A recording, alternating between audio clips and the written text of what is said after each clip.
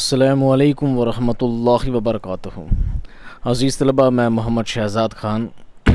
आप तमाम ही का अपने चैनल एस के में खैर मकदम करता हूँ।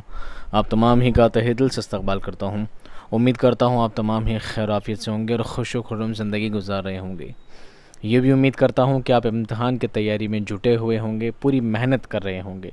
अपने इम्तहान को अच्छी तरह से हल करने के लिए, इम्तहान में कामयाबी पाने के लिए आप पूरी मेहनत और पूरी कश्मकश में, पूरी जद्दोजहद में लगे होंगे।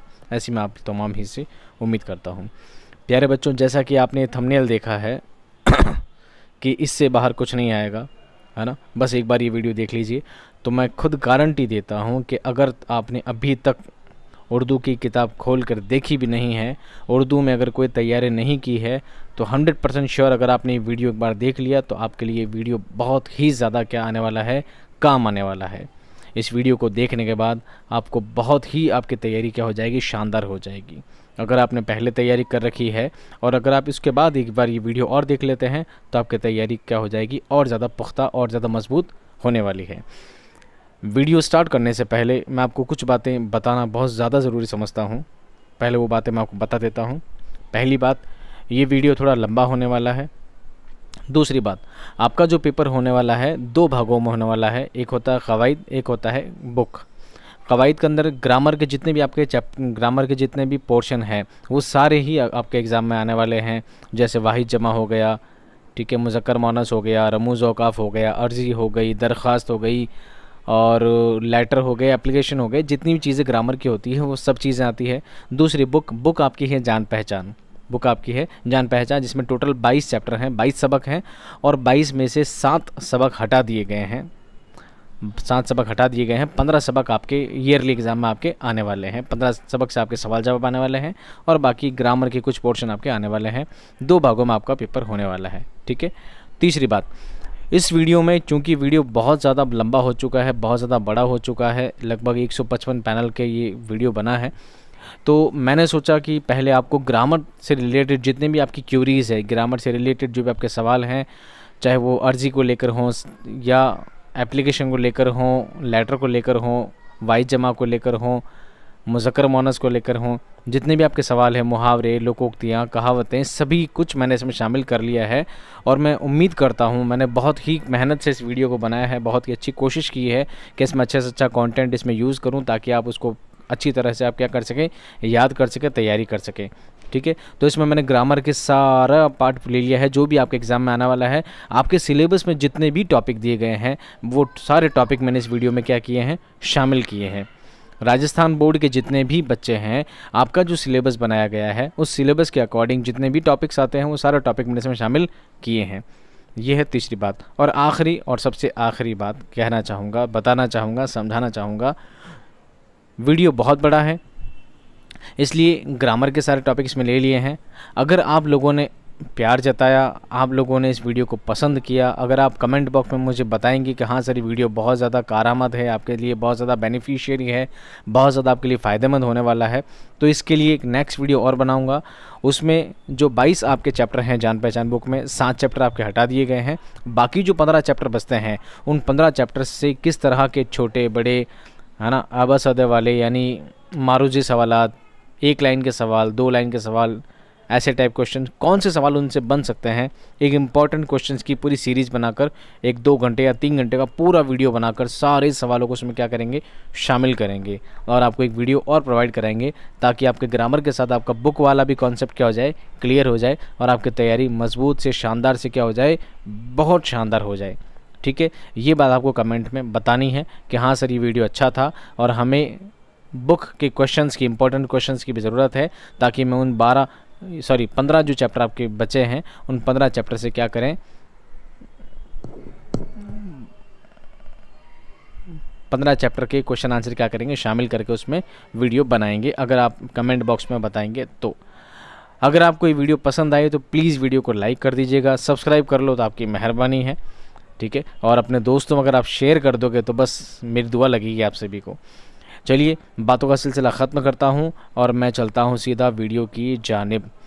वीडियो शुरू करने से पहले एक बात और बताना चाहूँगा। प्यारे बच्चों, जितने भी इसमें टॉपिक हैं, चाहे वो फ़ैल फ़ाइल मफूल के हों, चाहे वो एप्लीकेशन के हों, चाहे लेटर के हों, जितने भी टॉपिक इसमें शामिल किए गए हैं चैनल पर आप जाएँगे तो एक प्लेलिस्ट मिलेगी उर्दू कवायद। उस उर्दू कवायद के अंदर सभी वीडियो ऑलरेडी मैं बना चुका हूँ।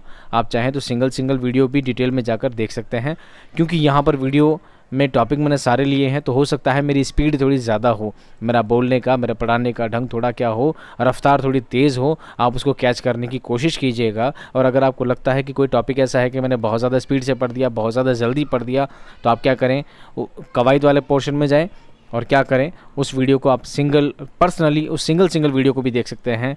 मैंने हर एक एक टॉपिक को लेकर अलग अलग वीडियो बनाया है। ये सिर्फ़ आपके रिवीजन के के लिहाज से ये वीडियो बनाया गया है। ठीक है? चलिए, बिस्मिल्लाह पढ़ते हैं और वीडियो की शुरुआत करते हैं। सबसे पहला आपका टॉपिक है फैल फ़ाइल मफूल आपके सिलेबस के अकॉर्डिंग बता रहा हूँ, ठीक है? आर ने जो जो सिलेबस लॉन्च किया है, उसमें जो पहला टॉपिक है, वो है आपका फैल फ़ाइल मफूल तीन में से किसी दो की तारीफ़ आपसे पूछी जाएगी। तो तारीफ़ क्या करेंगे? देखिए, ऐसे करेंगे तारीफ़। फ़ैल वो कलिमा जिससे किसी काम का होना या करना ज़ाहिर हो, क्या कहलाता है? फ़ैल कहलाता है। मसलन, मिसाल देखिए, नवीद दौड़ता है, बच्चे खेल रहे हैं, मास्टर साहब आए, इन जुमलों में दौड़ता है, खेल रहे हैं, आए, फ़ैल है। कुल मिलाकर हिंदी में जिसे क्रिया कहते हैं, उसे ही उर्दू में फ़ैल कहते हैं, जिस कलमे से, जिस लफ्ज़ से किसी काम का करना या होना पाया जाता है, फ़ैल कहलाता है। दूसरा है फ़ाइल। किसी भी काम के करने वाले को फ़ाइल कहते हैं, जिसे इंग्लिश में सब्जेक्ट कहते हैं और हिंदी में कर्ता कहते हैं। मसलन राशिद पढ़ता है, वो खेलता है। हाकिम ने बहुत जुल्म किया। इन जुमलों में राशिद, वो हाकिम फ़ाइल हैं, क्योंकि ये सब कौन है? काम करने वाले हैं। उनका नाम करने वाले के काम के ताल्लुक से पुकारा गया है, इसलिए ये फ़ाइल कहलाएँगे। फ़ाइल किसे कहते हैं? काम करने वाले को फ़ाइल कहते हैं, और काम को क्या कहते हैं? फ़ाइल कहते हैं। अब है मफ़ूल। मफ़ूल उस शख्स या चीज़ को कहते हैं, जिस पर फ़ाइल का असर पड़ता हो। फ़ैल का, काम करने वाला का असर पड़ता हो। मसलन, राशिद किताब पढ़ता है, वो क्रिकेट खेलता है। इन जुमलों में किताब और क्रिकेट क्या है? मफूल है, जिसे इंग्लिश में ऑब्जेक्ट कहते हैं और हिंदी में क्या कहते हैं? इसे कर्म कहते हैं। नोट फ़ैल के साथ किया गया, क्या लगाकर सवाल करने पर जो जवाब मिले, अमूमन वही मफूल होता है। जब आप किसी सेंटेंस में अगर आपको जानना है, मफूल क्या है तो उस सेंटेंस में आप क्या लगा दीजिए, आपको पता लग जाएगा मफूल क्या है। मफूल उस सेंटेंस में क्या है? जैसे, राशिद किताब पढ़ता है। अगर मैं इसका सवाल बनाऊँ, राशिद क्या पढ़ता है? तो आप बोलेंगे, राशिद किताब पढ़ता है। राशिद क्या पढ़ता है? किताब। क्या पढ़ता है? किताब। तो किताब क्या हो गया? मफूल। वो क्रिकेट खेलता है। वो क्या खेलता है? क्रिकेट। तो क्रिकेट अलग हो गया। तो क्या लगाने के बाद जो वर्ड अलग से निकल जाता है, वो क्या होता है? मफूल। और इसकी मिसाल कैसे देंगे? मफूल उस शख्स या चीज़ को कहते हैं जिस पर फ़ैल का असर पड़ता हो। ठीक है? उम्मीद करता हूँ कॉन्सेप्ट क्लियर हो गया होगा। दूसरा कॉन्सेप्ट दूसरा आपका टॉपिक है रमूज़ औकाफ। रमूज़ो औकाफ, जिसे इंग्लिश में पंक्चुएशंस कहते हैं और हिंदी में से विराम चिन्ह कहते हैं। क्या कहते हैं? विराम चिन्ह अब इनकी अलामतें हैं। आपको एग्ज़ाम में दिया जाएगा कि ये जो अलामत है, ये जो निशान है, ये जो चिन्ह है, इस चिन्ह को क्या कहते हैं? ठीक है? तो यहाँ पर मैंने आठ चिन्ह शामिल किए हैं। आप बारी बारी तुमको देखिए। पहला रमूज कॉफ है, ये दिख रहा है आपको लाइन सा, आड़ी लाइन से लाल कलर की। उर्दू नाम इसे कहते हैं ख़त ज़ीरी, अंग्रेज़ी नाम है इसका अंडरलाइन डैश तरीका, जुमले में किसी ख़ास चीज़ या ख़ास बातों को खुलासा करने के इस्तेमाल, के लिए इस्तेमाल होता है। मसलन, बाग में लाल सफ़ेद फूल खिले हैं तो सफ़ेद और फूल के नीचे जो लाइन खिंची हुई, हट गई है यहाँ पर तो लाइन अंडरलाइन करना इसको बोलते हैं। इसे उर्दू में कहते हैं ख़तें ज़ीरी, क्या कहते हैं? ख़तें ज़ीरी। दूसरा लफ्ज़ है रमूज़ अवकाफ़ के बाद ये दो डॉट और एक डैश लगा है। इसे उर्दू में कहते हैं तफसीला। क्या कहते हैं? तफसीला। अंग्रेज़ी नाम है कॉलन एंड डैश। तरीका, किसी ख़ास चीज़ की तारीफ़ या खसूसियात बयान करने से पहले तफसीला लगाया जाता है। मिसाल इसम किसी चीज़ के नाम को इसम कहते हैं। यानी इसम के बाद में दो डॉट और एक डैश लगा दिया गया है। यानी तफसील के साथ उसको बयान करने के लिए, उस चीज़ का विवरण करने के लिए इस चीज़ को लगाया जाता है। इसे कहते हैं तफसीला। आपको सिर्फ़ इस चिन्ह को याद रखना है और इसका नाम याद रखना है। ठीक है? रमूज़ अवकाफ़ तीसरा है। इसको बोलते हैं उर्दू में सख्ता। उर्दू, इंग्लिश में से कहते हैं कौमा। क्या कहते हैं? कौमा। तरीका जब तीन या उससे ज़्यादा चीज़ एक साथ लिखी जाए तो उनके दरमियान सख्ता की अलामत लगाई जाती है। मसाल देखिए, गुलाब, चमेली, नरगिस, ये सब के बीच में क्या लगा रखा है? कॉमा लगा रखा है। इस कॉमा को उर्दू में क्या कहते हैं? सख्ता कहते हैं। क्या कहते हैं बच्चों? सख्ता कहते हैं। चौथा देखिए, रमूज़ औकाफ इसे कहते हैं, उर्दू नाम इसका है वक्फ़ा। क्या है? वक्फ़ा। अंग्रेज़ी नाम में इसको कहते हैं सेमिकोलन। क्या कहते हैं बच्चों? सेमिकोलन। तरीका, किसी चीज़, किसी जुमले में सख्ता कई बार इस्तेमाल हो तो आखिर में वक्फ़ा की अलामत लगाई जाती है। मिसाल, काला, सफ़ेद, हरा, लाल, पीला और लास्ट में लगाकर, वक्फ़ा लगाकर बताया गुलाबी रंग के कागज़ हैं। यानी काला सफ़ेद दो से तीन तीन, चार बार आ जाए तो कॉमा लगाते हैं। और कॉमा लगातार आ रहा है तो लास्ट वाला जो कॉमा होता है, उस कॉमा की जगह क्या लगाते हैं? वक्फ़ा लगाते हैं। इस अलामत को वक्फ़ा कहते हैं। आपको सिर्फ़ जो ऊपर अलामत लगी है, एक डॉट है, उसको ऊपर उल्टा कॉमा बना हुआ है। इस अलामत को वक्फ़ा कहते हैं। आपको सिर्फ़ इतना याद रखना है। इससे ज़्यादा आपको कुछ भी याद रखने की कोशिश नहीं करनी है कि जब आपको साइन बता दिया जाए, कोई चिन्ह लगा दिया जाए तो आपको पता लग जाए उर्दू में इस चिन्ह को, उर्दू में इस निशान को, इस अलामत को क्या कहते हैं। पाँच बार अमूज़ अवकाफ देखिए क्वेश्चन मार्क दिख रहा है। इसको उर्दू में बोलते हैं सवालिया निशान। ये बहुत आसान है, आपको पता लग जाएगा। सवाल करने के लिए निशान लगाते हैं तो क्या क्या बोलते हैं इसे? सवालिया निशान। अंग्रेज़ी में कहते हैं क्वेश्चन मार्क तरीका, कोई सवाल किया जाए तो सवालिया निशान की अलामत लगाई जाती है। मिसाल आपका नाम क्या है? क्वेश्चन मार्क इसको उर्दू में बोलते हैं सवालिया निशान। हिंदी में बोलते हैं प्रश्नवाचक चिन्ह। अब है रमूज़ अवकाफ एक डंडी और उसके नीचे डॉट। इसे इसे बोलते हैं फ़िज़ाइया निदाइया। फ़िज़ाइया निदाइया। इंग्लिश में कहते हैं साइन ऑफ़ एक्सलमिनेशन हिंदी में से संबोधन चिन्ह या संबोधक चिन्ह भी कहा जाता है। तरीका, किसी को पुकारे जाने पर कोई गम, खुशी, खौफ और हैरत पर फिजाइया निदाइया अलामत का इस्तेमाल किया जाता है। मिसाल, बुज़ुर्गों, दोस्तों, अफसोस अफसोस हुआ, बहुत खुशी हुई, बहुत हैरत हुई, यानी बुज़ुर्गों, दोस्तों, इस तरह से किसी को बुलाने पर, संबोधन करने पर इस तरह का चिन्ह, इस तरह की अलामत लगाई जाती है। इस चिन्ह को, इस अलामत को फिजाइया निदाइया कहा जाता है। ठीक है? अगला देखिए। रमूज औकाफ सातवां है। ये जो डैश है, ये जो लाइन दिख रही है सो बोलते हैं इंग्लिश में डैश उर्दू में कहते हैं ख़त। क्या कहते हैं? ख़त। तरीका, किसी चीज़, किसी ख़ास चीज़ या ख़ास इलाके के लिए कई लफ्ज़ों का इस्तेमाल हो तो उनके दरमियान में ख़त लगाया जाता है। दर्ज, दर्जी के यहाँ फिर डैश लगा दिया। पतलून कोट शेरवानी सी जाती है। समझ में आ गई बात? तो इस डैश को क्या कहते हैं? ख़त कहते हैं। क्या कहते हैं? ख़त कहते हैं। ख़त लेटर को भी कहते हैं। ठीक है बच्चों? रमूज़ अवकाफ़ अब ये ऊपर दो कमा उल्टे और दो कमा सीधे हैं। इसको क्या बोलते हैं?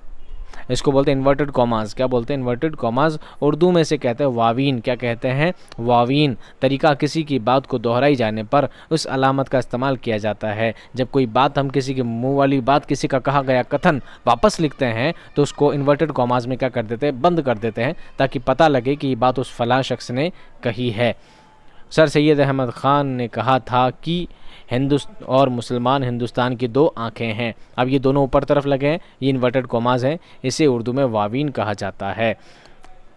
अब अगला रमूज़ अवकाफ़ है। इसे ब्रैकेट्स कहते हैं। क्या कहते हैं? इंग्लिश में ब्रैकेट्स हिंदी में से कोष्ठक कहते हैं और उर्दू में से खासिन कहते हैं। क्या कहते हैं? खासिन कहते हैं। तरीका किसी भी चीज़ की खासियत पर रोशनी डालने के लिए या खुलासा करने के लिए इस अलामत का इस्तेमाल किया जाता है। सर सैयद अहमद खान, अब यहाँ पे ब्रैकेट लगाया गया है खासिन लगाई गई है।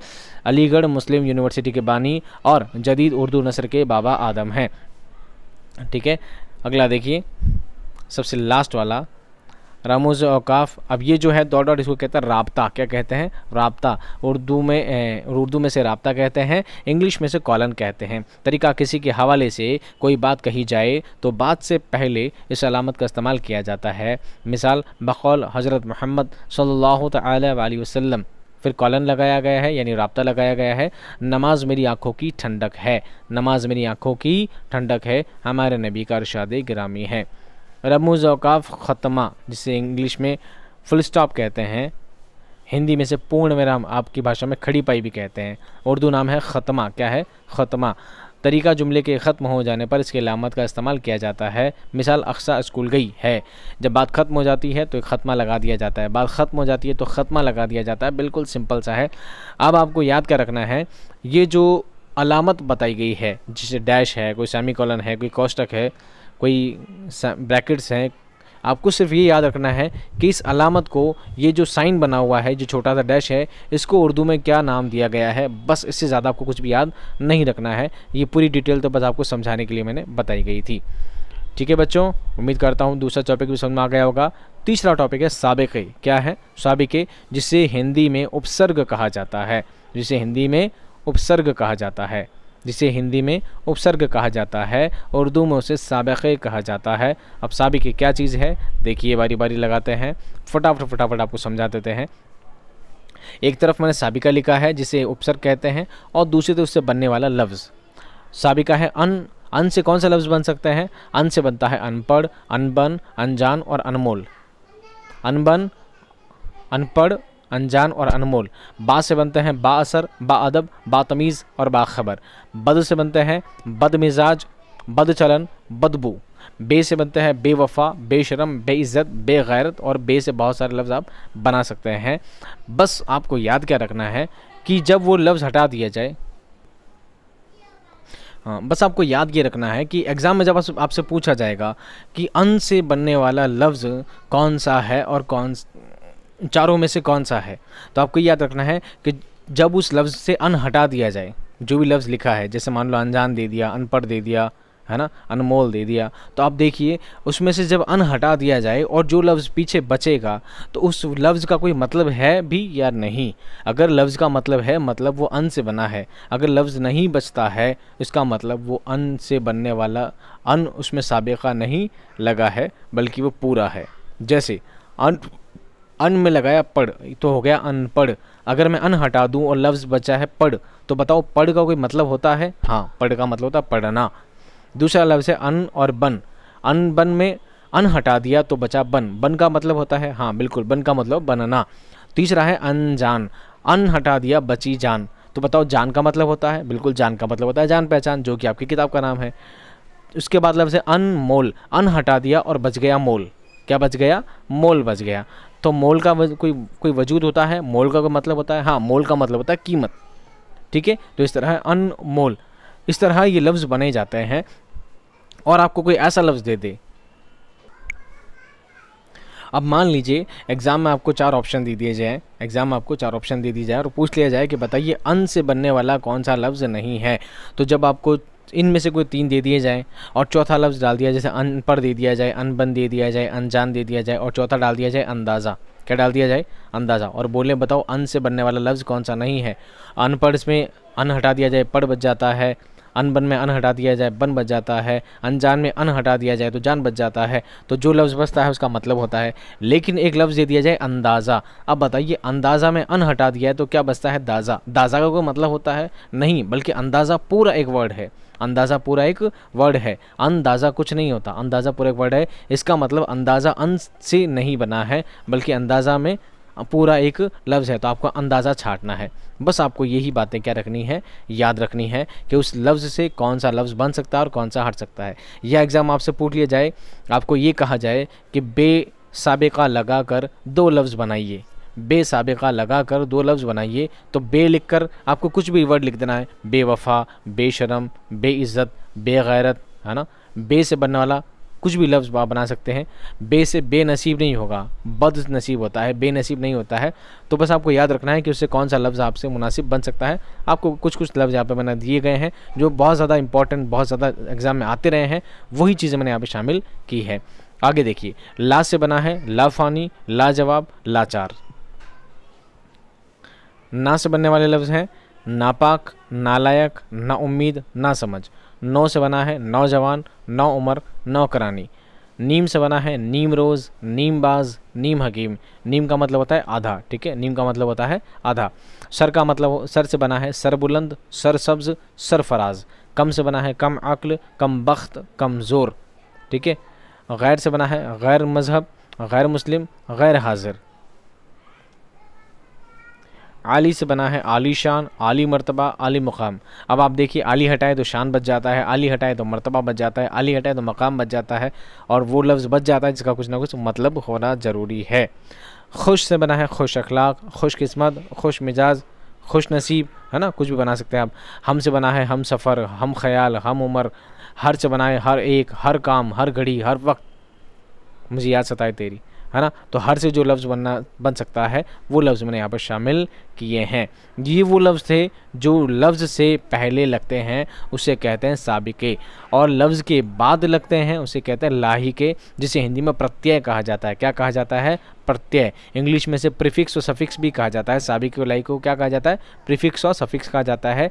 हिंदी में से, हिंदी में से उपसर्ग और प्रत्यय कहा जाता है। उर्दू में से साबिक और लाहिके कहा जाता है। उम्मीद करता हूँ ये टॉपिक भी आपके समझ में आ गया होगा। अगला टॉपिक देखते हैं। लाही के कौन कौन से बनते हैं हमारे पास? देखिए। आई से कौन से लफ्ज़ बनते हैं?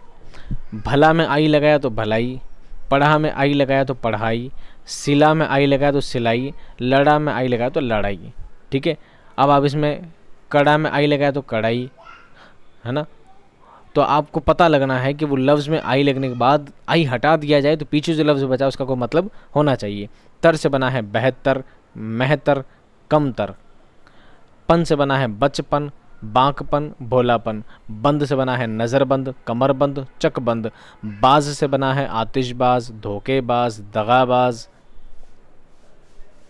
आज से बना है गिलास, प्यास, मिठास, खाना से बना है पागल खाना कार खाना कुतुब खाना गी से बना है नाराज़गी, सादगी, बंदगी। गिरी से बना है नेतागिरी, दादागिरी, चमचागिरी। और कौन सी गिरी होती है? आप मुझे बताइएगा कमेंट बॉक्स में। घर से बना है कारीगर, रफूगर, चारागर। गाह से बना है ईदगाह, ख्वाबगाह आराम गाह ठीक है, और भी कौन सी गाह होती है? आप बता सकते हैं।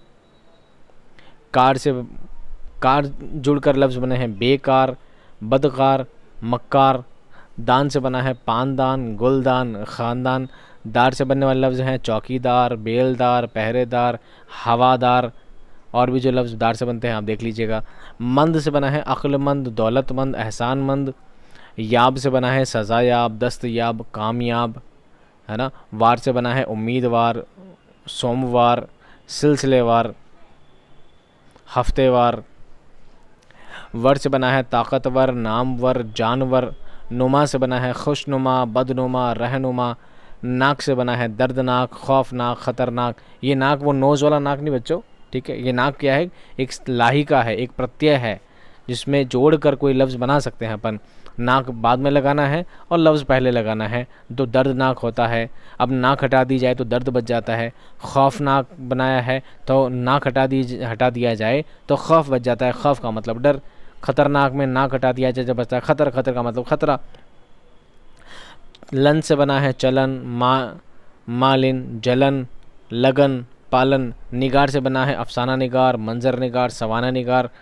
आवट से बना है बनावट, सजावट और लिखावट। इस तरह ये टॉपिक भी आपका क्या हो गया है? कंप्लीट हो गया है और उम्मीद करता हूँ ये टॉपिक भी आपके समझ में आ गया है। अब है आपका मुतरदफ़ अल्फाज, जिसे आप कहते हैं पर्यायवाची शब्द। क्या कहते हैं? पर्यायवाची शब्द, मुतरदिफ अल्फाज। अब कौन कौन से हैं? देखिए, हमने कुछ कुछ शामिल किए हैं। आप इनको समझें और याद करने की कोशिश करें। आसमान को कहते हैं अर्श, गर्दू और फलक। मौत को कहते हैं अजल और कज़ा। यानी मौत को मौत भी कह सकते हैं, अजल भी कह सकते हैं और ख़ज़ा भी कह सकते हैं। ज़िंदगी को मर्ग, बेटा गलत हो गया मुझसे। ज़िंदगी को मर्ग नहीं कहते, मर्ग ऊपर मौत में लिखना था, मर्ग यानी होता मरना मौत, ठीक है? ज़िंदगी को ज़िंदगानी कहते हैं, हयात कहते हैं और जीस्त कहते हैं। चाँद को कमर कहते हैं, बदर कहते हैं, हिलाल कहते हैं, माह और महताब। ठीक है? ये कमर छोटा काफ से कमर होता तो ये कमर हो जाती, वो पेट और कमर वाली। बड़ा काफ से कमर कमर यानी चाँद। बाग को चमन भी कहते हैं और गुलजार भी कहते हैं। सूरज को नहर कहते हैं, शम्स, महर, खुर्शीद और आफताब। बेटी को बिंत और दुख्तर। दुनिया को आलम, कायनात, जहान। वालिद को, वालिदा को कहते हैं मादर और माँ। वालिद को कहते हैं पिदर और बाप। और पापा भी कहते हैं, पिताजी भी कहते हैं। तारा को कहते हैं अख्तर, अंजुम। औरत को कहते हैं जन। औरत को कहते हैं जन। मादा भी कहते हैं। फल को कहते हैं समर। शायर को कहते हैं सुखनवर राही को कहते हैं राहगीर राह को कहते हैं रास्ता या राह गुज़र बहन को कहते हैं हमशीरा बेटा को कहते हैं फ़र्जन भाई को कहते हैं बरादर रंग को कहते हैं फाम नज़म को कहते हैं शायरी लम्हा को कहते हैं पल हिंदी में जिसे क्षण कहते हैं इंग्लिश में जिसे मोमेंट कहते हैं होशियारी को कहते हैं बेखुदी अक्ल को कहते हैं फ़हम दश्त को कहते हैं जंगल मालिक को कहते हैं आका मदरसा को कहते हैं मकतब, चश्म को कहते हैं दीदा। क्या कहते हैं? दीदा। आला को कहते हैं मबूद, इलाही को कहते हैं मबूद, नादानी, बेवकूफ़ी, सहरा, रेगिस्तान, नौकर, मुलाजिम, इंसान, बशर, चिराग, शमा। चिराग, शमा, जिसे कहते हैं मोमबत्ती। चश्म आयन और आँखें। कमज़ोर, लागीर लागर जन्नत को बहिश्त भी कहते हैं, फिरदौस भी कहते हैं, खुल्द भी कहते हैं, शब को रात कहते हैं, लैल कहते हैं, आँख को दीदा कहते हैं, ऊपर भी जा चुका है। कल्ब को दिल कहते हैं, बड़े काप से कल्ब कल्ब यानी दिल छोटे काप से कल्ब जिसे कुछ और ही कहते हैं, कुत्ता कहते हैं। ज़यीफ़ को कहते हैं, कमज़ोर ज़यीफ़ को कमज़ोर भी कहते हैं ज़यीफ़ भी कहते हैं बूढ़े को भी ज़यीफ़ कहते हैं ठीक है शमशीर को कहते हैं तलवार और तेग अक्ल को कहते हैं समझ हदीस को कहते हैं बात दिन को कहते हैं यौम दिन को कहते हैं यौम रंज को कहते हैं फ़िक्र दुख गम अहद को कहते हैं पैमान उजाला को कहते हैं रोशनी उजाला को रोशनी भी कहते हैं नस को कहते हैं रग अबद को कहते हैं हमेशा काहिल को कहते हैं सुस्त और वादा को कहते हैं अहद यानी हर लफ्ज़ को कुछ ना कुछ दूसरे नाम से भी जाना जाता है। किसी के मैंने एक एक नाम लिखे हैं, किसी के दो तीन लिखे हैं, किसी के तीन चार लिखे हैं। जो एग्ज़ाम में इंपॉर्टेंट होता है, वही मैंने शामिल करने की कोशिश की है। बहुत ज़्यादा कंटेंट ज़बरदस्ती एक्स्ट्रा ऐड कर कर आपको कंफ्यूज करने और बहुत ज़्यादा आपको पजल्ड करने की मेरी ख्वाहिश नहीं थी। छोटे से छोटा, कम से कम कंटेंट लिया है और आप ज़्यादा से ज़्यादा उसको समझ के याद करने की कोशिश करें। यही आपके इम्तहान में आता रहा है और उम्मीद करता हूँ यही आपके आएगा। अगला आपका टॉपिक है मुतज़ाद अल्फाज, जिसे हिंदी में क्या कहते हैं? विलोम शब्द कहते हैं, इंग्लिश में इसे अपोजिट वर्ड्स कहते हैं। क्या कहते हैं बच्चों? अपोजिट वर्ड्स कहते हैं। उम्मीद करता हूँ ये वीडियो आपके समझ में आ रहा होगा, क्योंकि बहुत ज़्यादा स्पीड से पढ़ा रहा हूँ। इसलिए पढ़ा रहा हूँ क्योंकि सब चीज़ें मैं ऑलरेडी पढ़ा चुका हूँ। आप ग्रामर वाले टॉपिक में जाकर ग्रामर वाली प्लेलिस्ट में जाकर सब चीज़ें आप देख सकते हो। अब जो लफ्ज़ लिखे हैं, ये लफ्ज़ क्या है? एक दूसरे की ज़िद है, एक दूसरे के अपोजिट हैं, एक दूसरे के विलोम है, एक दूसरे के उल्टा हैं। रंज का उल्टा होगा मसरत। रंज का मतलब दुख, मसरत यानी खुशी। ख़रीद का उल्टा होता है फ़रोख्त। ख़रीद का बेचना नहीं होता, ख़रीद का होता है फ़रोख्त। आमद का रफ्त, आमद यानी आना। आमद का खर्च, आमद का मतलब आमद का उल्टा खर्च। आमद का मतलब कमाई भी होता है, आमद का मतलब आना भी होता है। महर का होगा माह। महर का होगा माह, महर यानी सूरज, माह यानी चाँद। शम्स का होगा कमर, शम्स यानी सूरज, कमर यानी चाँद। आफताब का महताब, चाँद का सूरज, नेकी का बदी, नेक का बद, खैर का शर। बीवी का शौहर, जन का शू, हलाल का हराम, हसन का कबह, तहरीर का तकरीर, दीन का दुनिया। मर्द का जन, पीर का फ़कीर ज़ेर का ज़बर, बुलंद का पस्त, देर का हरम, इब्तदा का इंतहा। अब ये वर्ड क्या हैं? इनके मीनिंग क्या है? इनके मतलब क्या होते हैं? ये सब मैंने आपको अपोजिट वाले, विलोम शब्द वाले, मुतज़ाद अल्फाज का जो वीडियो बनाया है, उसमें मैंने बहुत डिटेल में समझाया है। बेहतर है आप वहाँ से जाकर समझेंगे तो आपको लिए और ज़्यादा सहूलियत होगी। आगाज़ का अंजाम, मशरक़ का मगरब, शिमाल का जनूब तुलू का गुरूब बीमार का तंदुरुस्त बैद का करीब बैद का करीब जीत का हार, खुश्क का तर, बहार का खिज़ा खिज़ा यानी पतझड़। रात का दिन, ज़ाहिर का बातिन बातिन यानी छुपा हुआ असगर का अकबर, असगर का अकबर। सग़ीर का कबीर, शब का रोज़, तिफ़ल का जवां, तिफ़ल का जवां, शाह का गदा। गदा, वो गदा नहीं है, ठीक है? गदा डोंकी नहीं, गदा यानी फ़कीर होता है। अरूज का जवाल, रज़म का बज़म, इकरार का इनकार, शुरू का ख़त्म, उस्ताद का शागिर्द, आला का अदना, अर्ज़ का समा, उल्फत का नफ़रत। उल्फत यानी मोहब्बत। जन्नत का जहन्नम, बहिश्त का दोजख, दाखिल का खारिज, ख़ास का आम, फ़तह का शिकस्त, गुल का खार खार यानी कांटा, गुल यानी फूल। सुबह का शाम, सुस्त का चुस्त, दोस्त का दुश्मन, अजाब का सवाब, खुर्द का कला, कुफ्र का ईमान, कुफ्र का ईमान। शराफत का रिजालत, अकलीत का अक्सरियत, तरक्की का तनज़ुली शायर का मुसनफ़ खुशनुमा का बदनुमा, आलिम का जाहिल। अरिज़ा का गिरा इतफाक़ का निफाक, कुदरती का मसनू मुजक्कर का मुअन्नस, नफ़ा का नुकसान, रोशनी का तारीकी। या तारीकी अंधेरे को कहते हैं तारीख क्या कहते हैं अंधेरे को? तारीख कहते हैं वो तारीख होता है, जो दिनांक होता है। ये तारीख है, ठीक है, काफ से। मौत का हयात, जलवत का खलवत ालिम का मज़लूम, पस का पेश, नशेब का फराज, खुशबू का बदबू। खुशबू का उल्टा क्या होगा? बदबू होगा, बहुत आसान। अव्वल का आखिर था, बच्चों, आखिर हो गया। क्या है? आखिर, अव्वल का आखिर लास्ट में। शाद का नाशाद, शक का यकीन, काफिर का मोमिन, शरीफ का रजील, किल्लत का कसरत, किल्लत का कसरत। अमानत का ख़यानत, कैद का आज़ादी, यगाना का बेगाना, खूबसूरत का बदसूरत, असल का नकल, हकीकी का मिजाजी। कदीम का जदीद। कदीम यानी पुराना जदीद यानी नया। सूद का ज़िया, आज़ाद का बर्बाद, कम का बेश, हाकिम का महकूम, आराम का तकलीफ़। आराम का उल्टा क्या होगा बच्चों? तकलीफ़। अर्श का फ़र्श, आसमान का ज़मीन, तूल का अर्ज़, सखी का बखील, गुरूर का इनकसारी, मेहमान का मेज़बान। मेहमान का उल्टा मेज़बान। दाना का नादा, इज़्ज़त का ज़िल्लत मदह का हजू, सादिक का काजिब, तफसीली का अजमाली, सज़ा का जज़ा, सज़ा का जज़ा। मख्तसर का मुफसल हमवार का नाहमवार, फ़ानी का बाकी, फ़ना का बका, आया का निहा, पोशीदा का ज़ाहिर, पोशीदा का ज़ाहिर, पोशीदा यानी छुपा हुआ।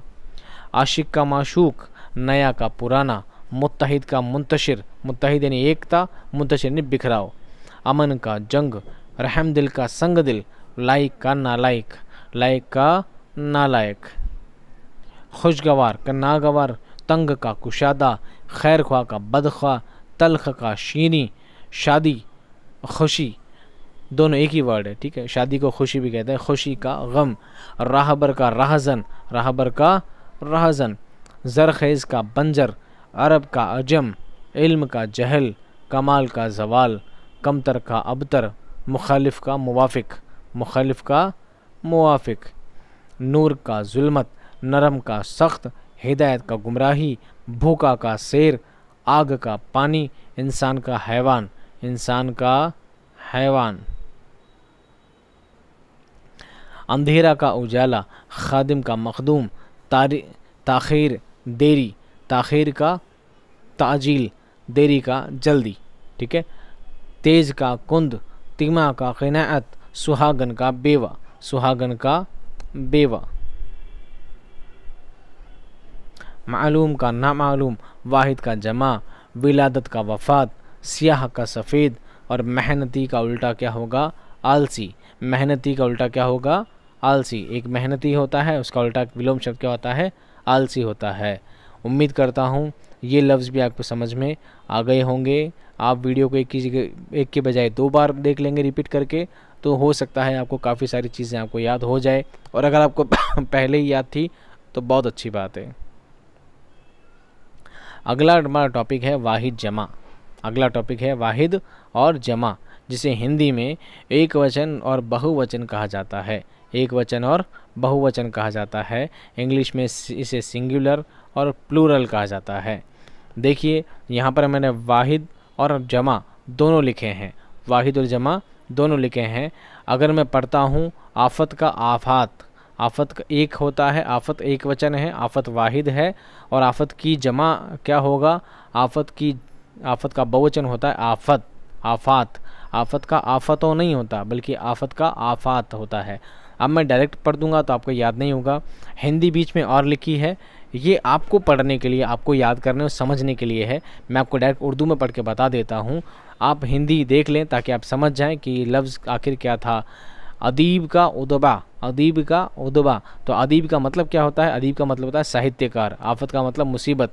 अमीर का उमरा, अमीर का उमरा। अमीर का मतलब धनी। रईस का रऊसा, गरीब का गुरबा। गरीब का गुरबा। गरीब मतलब निर्धन, ठीक है? ये आप समझ जाएँगे, उम्मीद करता हूँ। फ़कीर का फ़ुकरा, रफ़ीक का रुफ़का, इसम का उसमा, अदब का आदाब, अदब का आदाब, अम्र का अमूर असल का उसूल, असल का उसूल, आखिर का अवाखिर, असर का आसार, अफ़क का उफ़क का आफाक तफक्र का तफक्रात तदबीर का तदाबीर, जुर्म का जराइम, जुर्म का जराइम, जुर्म का जुर्मो नहीं होगा, जुर्म का जुर्मो नहीं होगा, जुर्म का जराइम। जिस्म का अजसाम क़स्म का अकसाम, जुर्म का इजराम। ठीक है, जुर्म यानी अपराध, जज्बा का जज्बात, जजीरा का जज़ायर आयत का आयात, आयत का आयात, जाहिल का जोहला, जिन का जिन्नात, हादसा का हादसात, दाल छूट गया बच्चों, हादसा का हादसात, दाल छूट गया हादसात, हुक्म का अहकाम, हद का हदूद, हर्फ का हरूफ एक है तो हर्फ, ज़्यादा है तो हरूफ, एक है तो लफ्ज़ लफ्ज़ का अल्फाज, लफ्ज़ का अल्फाज, एक है तो लफ्ज़ और ज़्यादा है तो अल्फाज। वर्क का औराक, शायर का शुरा शर का अशार हक का हकूक़, कानून का कवानीन, कानून का कवानीन, कानून का बहुवचन क्या होगा? कवानीन। इम्तहान का इम्तहानात, अलम का आलाम, उस्ताद का इसा असलूब का असालिब, तफसर का तफासिर अकरब का अकारब, अकरब का अकारब, एहसान का एहसानात, इश्तहार का इश्तहारात, ख़बर का अखबार, योम का अयाम तारीख़ का तवारीख़ असलाह का असलाहत असलाह का असलाहत बाब का अबवाब, जुज़ का अज्ज़ा तोहफ़ा का तहाइफ, जुर्म का तर्जुमा का तराजिम, तर्जुमा का तराजिम, तसनीफ़ का तसानीफ़, तस्वीर का तस्वीर तस्वीर यानी चित्र, फ़ोटो। तकलीफ़ का तकालीफ़, ताजिर का तुजार तफसील का तफासिल, तफसीर का तफासिर, तकदीर का तकादीर और रिसाला का रसाइल, रिसाला का रसाइल, रिसाला यानी पत्रिका, मैगज़ीन जिसे कहते हैं। ज़र्रा का ज़र्रात, ज़ख़ीरा का ज़ख़ायर जजी, ज़रिया का ज़राए, फ़िक्र का अफ़कार, ज़िक्र का अज़कार, जहन का अजहान, जहन का अजहान, रुकन का अरकान रैयत का रियाया, रस्म का रसूम, रकम का रुकूम, रिवायत का रिवायात, रूह का अरवाह, रूह का अरवाह। सबब का इसबाब वजह का वजह का वजूह, सुल्तान का सलातीन, सल्फ़ का असलाफ, सबक का असबाक, साहिल का सवाहिल, साहिल यानी किनारा। शिकायत का शिकायत शरीक का शुरुका, शाहिद का शवाहिद, बाग का बागात, आदत का आदात, तौर का अतवार।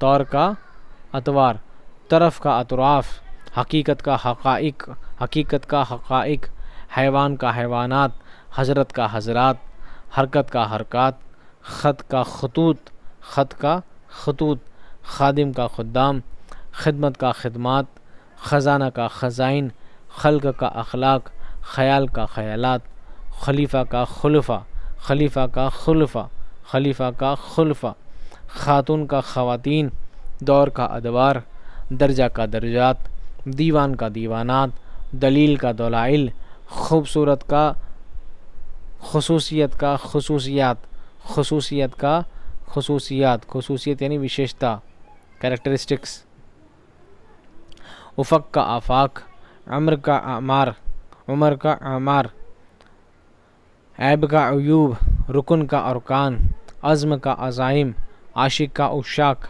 एक है तो आशिक, ज़्यादा है तो उशाक। आदत का आदाद, आम का अवाम, अजीब का अजाइब, अकरब का अकारिब, अकरब का अकारब। वज़ू का अज़ा, अकीदा का अकायद अकीदा का अकायद उनसर का अनासर, अलामत का अलामत। निशान का निशानात, फ़तह का फतूह, तरकीब का तराकीब, गैर का अगियार, गैर का अगियार, गलत का अगलात, गरज का अगराज, मकसद का मकासद, फ़ैल का अफ़ाल फ़ज़ल का अफ़ज़ाल, शक का शकूक, शक का शकूक।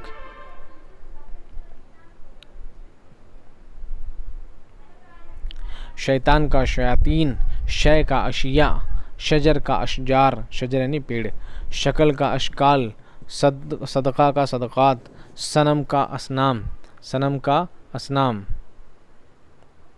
तिलिस्म का तिलिस्मात, तबका का तबक़ात, सफ़ाहा का सफ़ात, साहिब का असहाब, सिनफ का असनाफ, सिफत का सिफ़ात, सिफत का सिफ़ात, मस्जिद का मसाजिद, तिफल का अतफ़ाल, तालिब का तलबा, जुल्म का जुल्मात जुल्मत का जुल्मात तोयर का तवीर, अदू का अदा, अदू का अदा, आलिम का उलमा। ये शिक्षित है तशिक्षित नहीं है, शिक्षित क्या है? शिक्षित। इल्म का ूम शख्स का अशखास, फ़लक का अफलाक, फ़हम का अफ़हाम फ़र्द का अफराद, फ़र्द का अफराद, फ़र्श का फ़रूश, फ़र्श का फ़रूश, फ़न का फ़नून। फ़ायदा का फ़वाद क़ायदा का कवायद, कौल का अकवाल, ख़बर का कबूर कब्र का कबूर।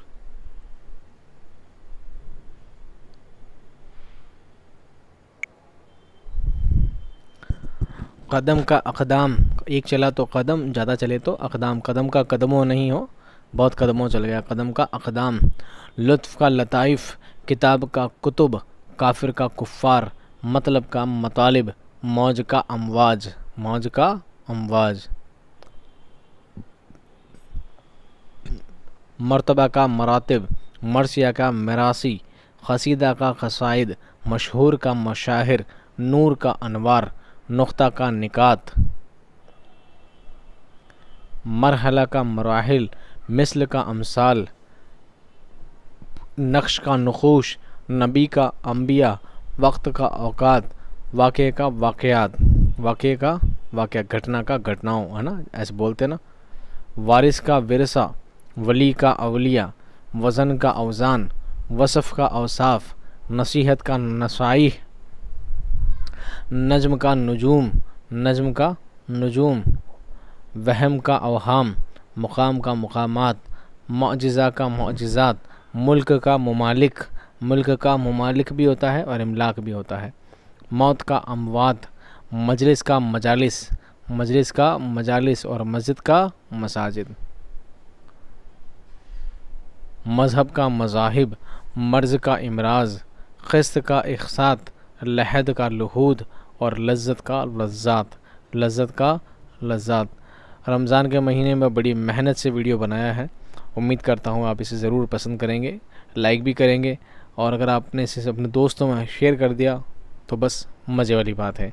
मैं चाहता हूँ आप इसे अपने दोस्तों में ज़रूर शेयर करें, ताकि वो भी इससे फ़ायदा हासिल कर सकें और हर बच्चा इसको देख सके, ताकि उसके एग्ज़ाम की तैयारी क्या हो सके, बेहतर हो सके। आइए, हम अगले टॉपिक की जानब चलते हैं। अगला टॉपिक है हमारा मुहावरे, क्या है? मुहावरे, ख़ास ख़ास मुहावरे कौन से हैं जो आपके एग्ज़ाम में आ सकते हैं? उनको यहाँ पर शामिल किया है। आपको एक एक बार पढ़ना है। आपको एग्ज़ाम में पूछा जा सकता है कि इन मुहावरों का मतलब क्या है।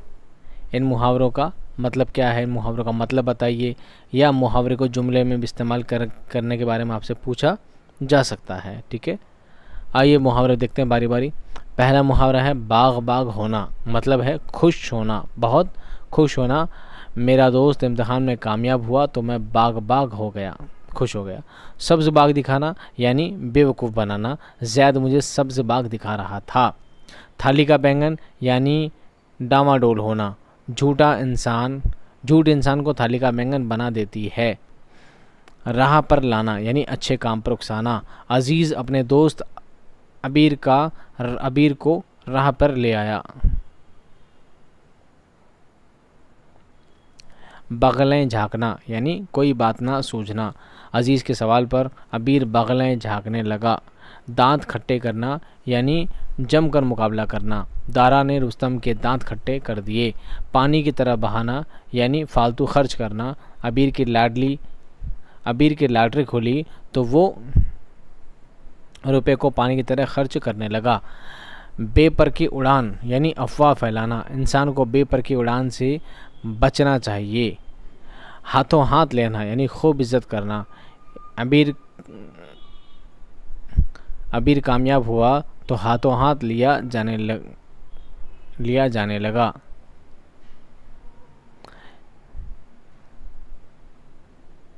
ईद का चाँद होना, यानी कभी कभी नज़र आना। अक्सा ईद की चाँद हो गई। उंगली उठाना, यानी एतराज़ करना।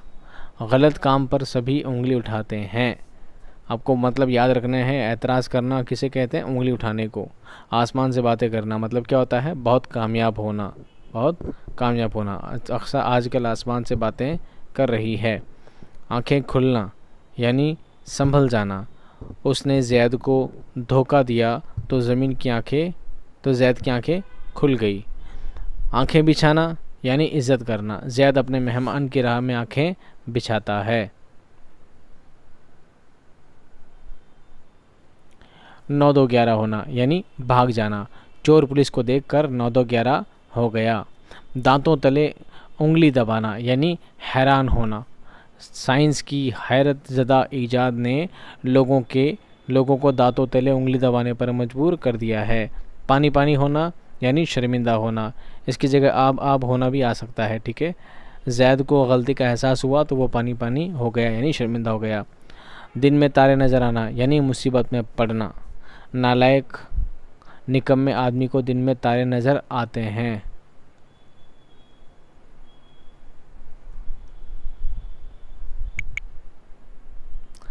पाँव तले ज़मीन खिसकना, यानी सदमे में पड़ना। उसके धोखे से मेरे पाँव तले ज़मीन खिसक गई। नीला पीला होना, यानी बहुत गुस्सा करना। जैद अपनी हार पर बहुत लाल पीला हुआ। आब आब होना, यानी शर्मिंदा होना, मैं पहले बता चुका था।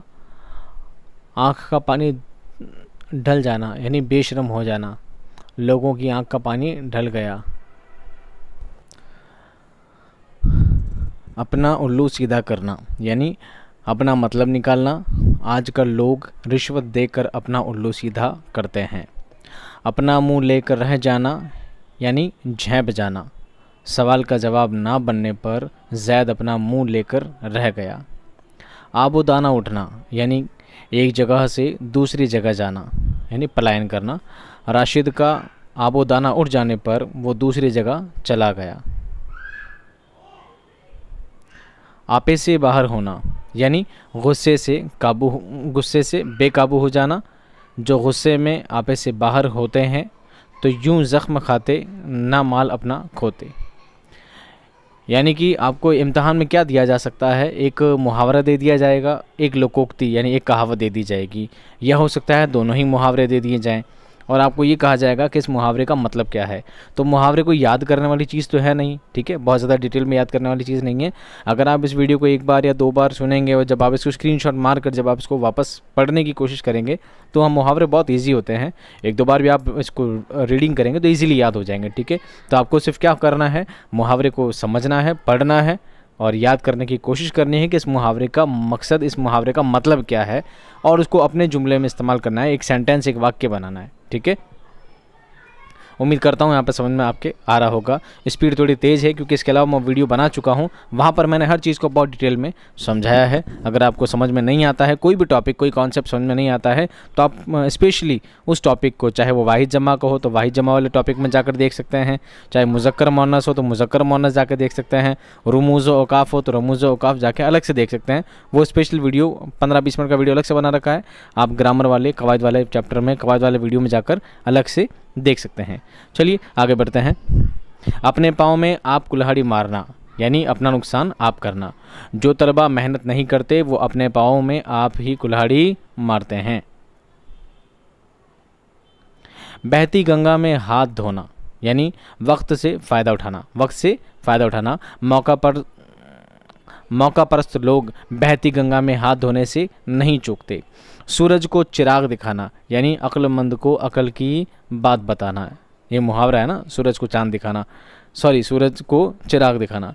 तजुर्बे का, तजुर्बेकार को अक्ल की बात बताना, सूरज को चाँद दिखाना है। तूती बोलना, यानी दबदबा होना। ये अलिफ गलत लिख दिया यहाँ पर। दबदबा होना, तूती बोलना, यानी तूती बोलना यानी दबदबा होना है। तूती बोलन में गया, अलिफ इसमें चला गया। तूती बोलना लफ्ज़ है, तूती बोलना मुहावरा है, उसका मतलब होता है दबदबा होना। हर तरफ़ दानिश की तूती बोलती है, यानी किसी का बहुत बड़ा नाम होना, प्रसिद्धि होना, ठीक है? उसे कहते हैं तूती बोलना। कलेजा मुँह को आना मतलब होता है बेचैन होना। जैद के फूट फूट के रोने पर लोगों का कलेजा मुँह को आ गया। कान भरना, यानी किसी के ख़िलाफ़ बहकाना। उसने मेरे ख़िलाफ़ उस्ताद के कान भर दिए। गुल खिलाना, यानी नई बात करना। आजकल अबीर ने खूब गुल खिलाए हैं। लकीर का फ़कीर होना, यानी पुरानी रविश पर चलना, पुराने तौर तकीरों पर चल, तौर तरीक़ों पर चलना, ये तो इंपॉर्टेंट समझ लीजिए, लकीर का फ़कीर होना, ये पहले भी कई बार आ चुका है। हो सकता है वापस आ जाए तो आप इसको ध्यान में रखना। लकीर का फ़कीर होना, यानी पुरानी रविश पर चलना। तरक्की के ज़माने में भी कुछ लोग लकीर का फ़कीर बने हुए हैं। मुँह की खाना, यानी शर्मिंदगी उठाना। जैद को परवेज़ के सामने मुँह की खानी पड़ी, यानी शर्मिंदा होना पड़ा। मुँह में पानी भरना, यानी लालच करना। मिठाई देखकर बच्चों के मुँह में पानी भर आया। नाक में दम होना, यानी परेशान होना। तुम्हारी शरारतों से मेरी नाक में दम हो गया। नाक कटना, यानी बदनाम होना। उसने अपनी गलती से ख़ानदान की नाक कटवा दी। इस तरह उम्मीद करता हूँ ये मुहावरे भी आपके समझ में आ गए होंगे। ठीक है? तो आपको क्या करना है? मुहावरों को सुनना है, समझना है और इनसे बाहर नहीं आएँगे। कोशिश की है कि आपका आर का जो सिलेबस है, उस सिलेबस में कौन से इंपॉर्टेंट होते हैं? मैंने कोशिश की है उन ही चीज़ों को शामिल करने की कोशिश की है ताकि आप इस वीडियो को ढंग से सुने, समझें और उतना ही याद करें जितना आपका सिलेबस में दिया गया है। ठीक है?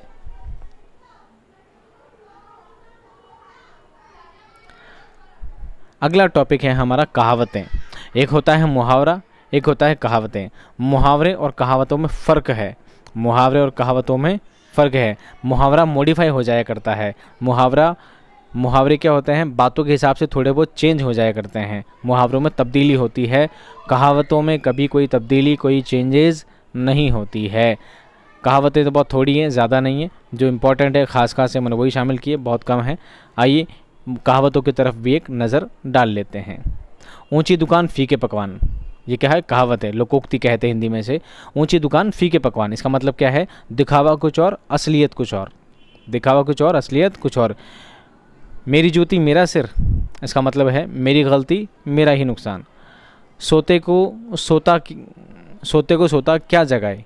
एक लोकोक्ति है, कहावत है। सोते को सोता क्या जगाए? यानी निकम्मा यानी निकम्मा काम की नसीहत नहीं कर सकता।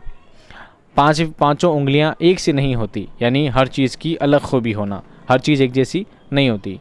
दूध का दूध, पानी का पानी, इसका मतलब है इंसाफ होना। कहते हैं ना, दूध, अभी दूध का दूध, पानी का पानी हो जाएगा मतलब अभी क्या हो जाएगा, इंसाफ हो जाएगा। जिस थाली में खाए, उसी में छेद करना, यानी नमक हरामी करना, यानी जिससे फ़ायदा उठाना, उसी को नुकसान पहुँचाना। जंगल में मोर नाचा किसने देखा, यानी अपनी काबिलियत वहाँ दिखाना जहाँ कोई ना हो तो बेकार है। जानना पहचान, मैं तेरा मेहमान। यानी बिन बुलाए किसी का मेहमान बनना, जिसकी लाठी, उसकी भैंस, इसका मतलब है जिसके पास ताकत हो, वो सब कुछ कर सकता है। जानना पहचान, खाला भी सलाम, बेज़रूरत दखल अंदाजी करना, बिना ज़रूरत के बोलचाल करना, बूढ़ी घोड़ी लाल लगाम, यानी बुढ़ापे में सजना संवरना। बकरे की माँ कब तक खैर मनाए? ये क्या है? कहावत है सरी। बकरे की माँ कब तक खैर मनाए? यानी अपनी सज़ा से कोई कब तक बच सकेगा। इंसान की जब सज़ा का टाइम आता है, वो बच नहीं सकता। भरी जवानी में मांझा ढीला, यानी जवानी में कमज़ोरी दिखाना, यानी देर से काम करना। ढीला करना सुस्ती दिखाना, आलसपना दिखाना, अपने पाँव पे कुल्हाड़ी मारना, यानी अपना नुकसान आप करना। जादू वो जो सड़ चढ़कर बोले जादू वो जो सर चढ़कर बोले, यानी असरदार चीज़ें असर ज़रूर दिखाती हैं। आग पानी का क्या मेल, यानी दो मुतजाद चीज़ें एक जगह नहीं हो सकती, एक दूसरे के विलोम, एक दूसरे का अपोजिट चीज़ एक साथ नहीं हो सकती तो यहाँ पर कहा जाता है आग पानी का क्या मेल। मुर्गा नहीं बोलेगा तो सवेरा नहीं होगा। क्वेश्चन मार्क भी इसका आगे ऐसे समझ लीजिए। किसी से बहुत ज़्यादा उम्मीद नहीं करनी चाहिए, किसी से बहुत ज़्यादा उम्मीद नहीं करनी चाहिए। अंधेर नगरी चौपट राजा। यानी ना अच्छा माहौल, ना अच्छा इंतज़ाम। एक अंडा और वो भी गंदा। एक अंडा, वो भी गंदा। एक औलाद और वो भी ख़राब, इसका मतलब है। आम के आम गुटलियों के दाम, यानी एक चीज़ के दो फ़ायदे होना। एक चीज़ के दो फ़ायदे होना। ऊँट के मुँह में ज़ीरा, यानी ज़रूरत से बहुत कम होना। जितनी ज़रूरत हो, आपूर्ति की से बहुत कम। तालीफ़ एक हाथ से नहीं बजती। तालीफ एक हाथ से नहीं बसती, यानी दो तरफा काम दोनों तरफ़ की कोशिश से होते हैं।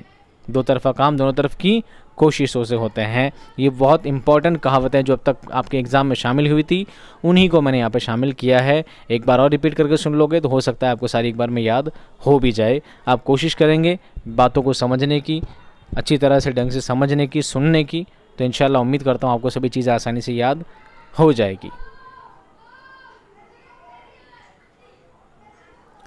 अगला टॉपिक है हमारा दरख्वास्त जिसे इंग्लिश में कहते हैं एप्लीकेशन हिंदी में कहते हैं प्रार्थना पत्र।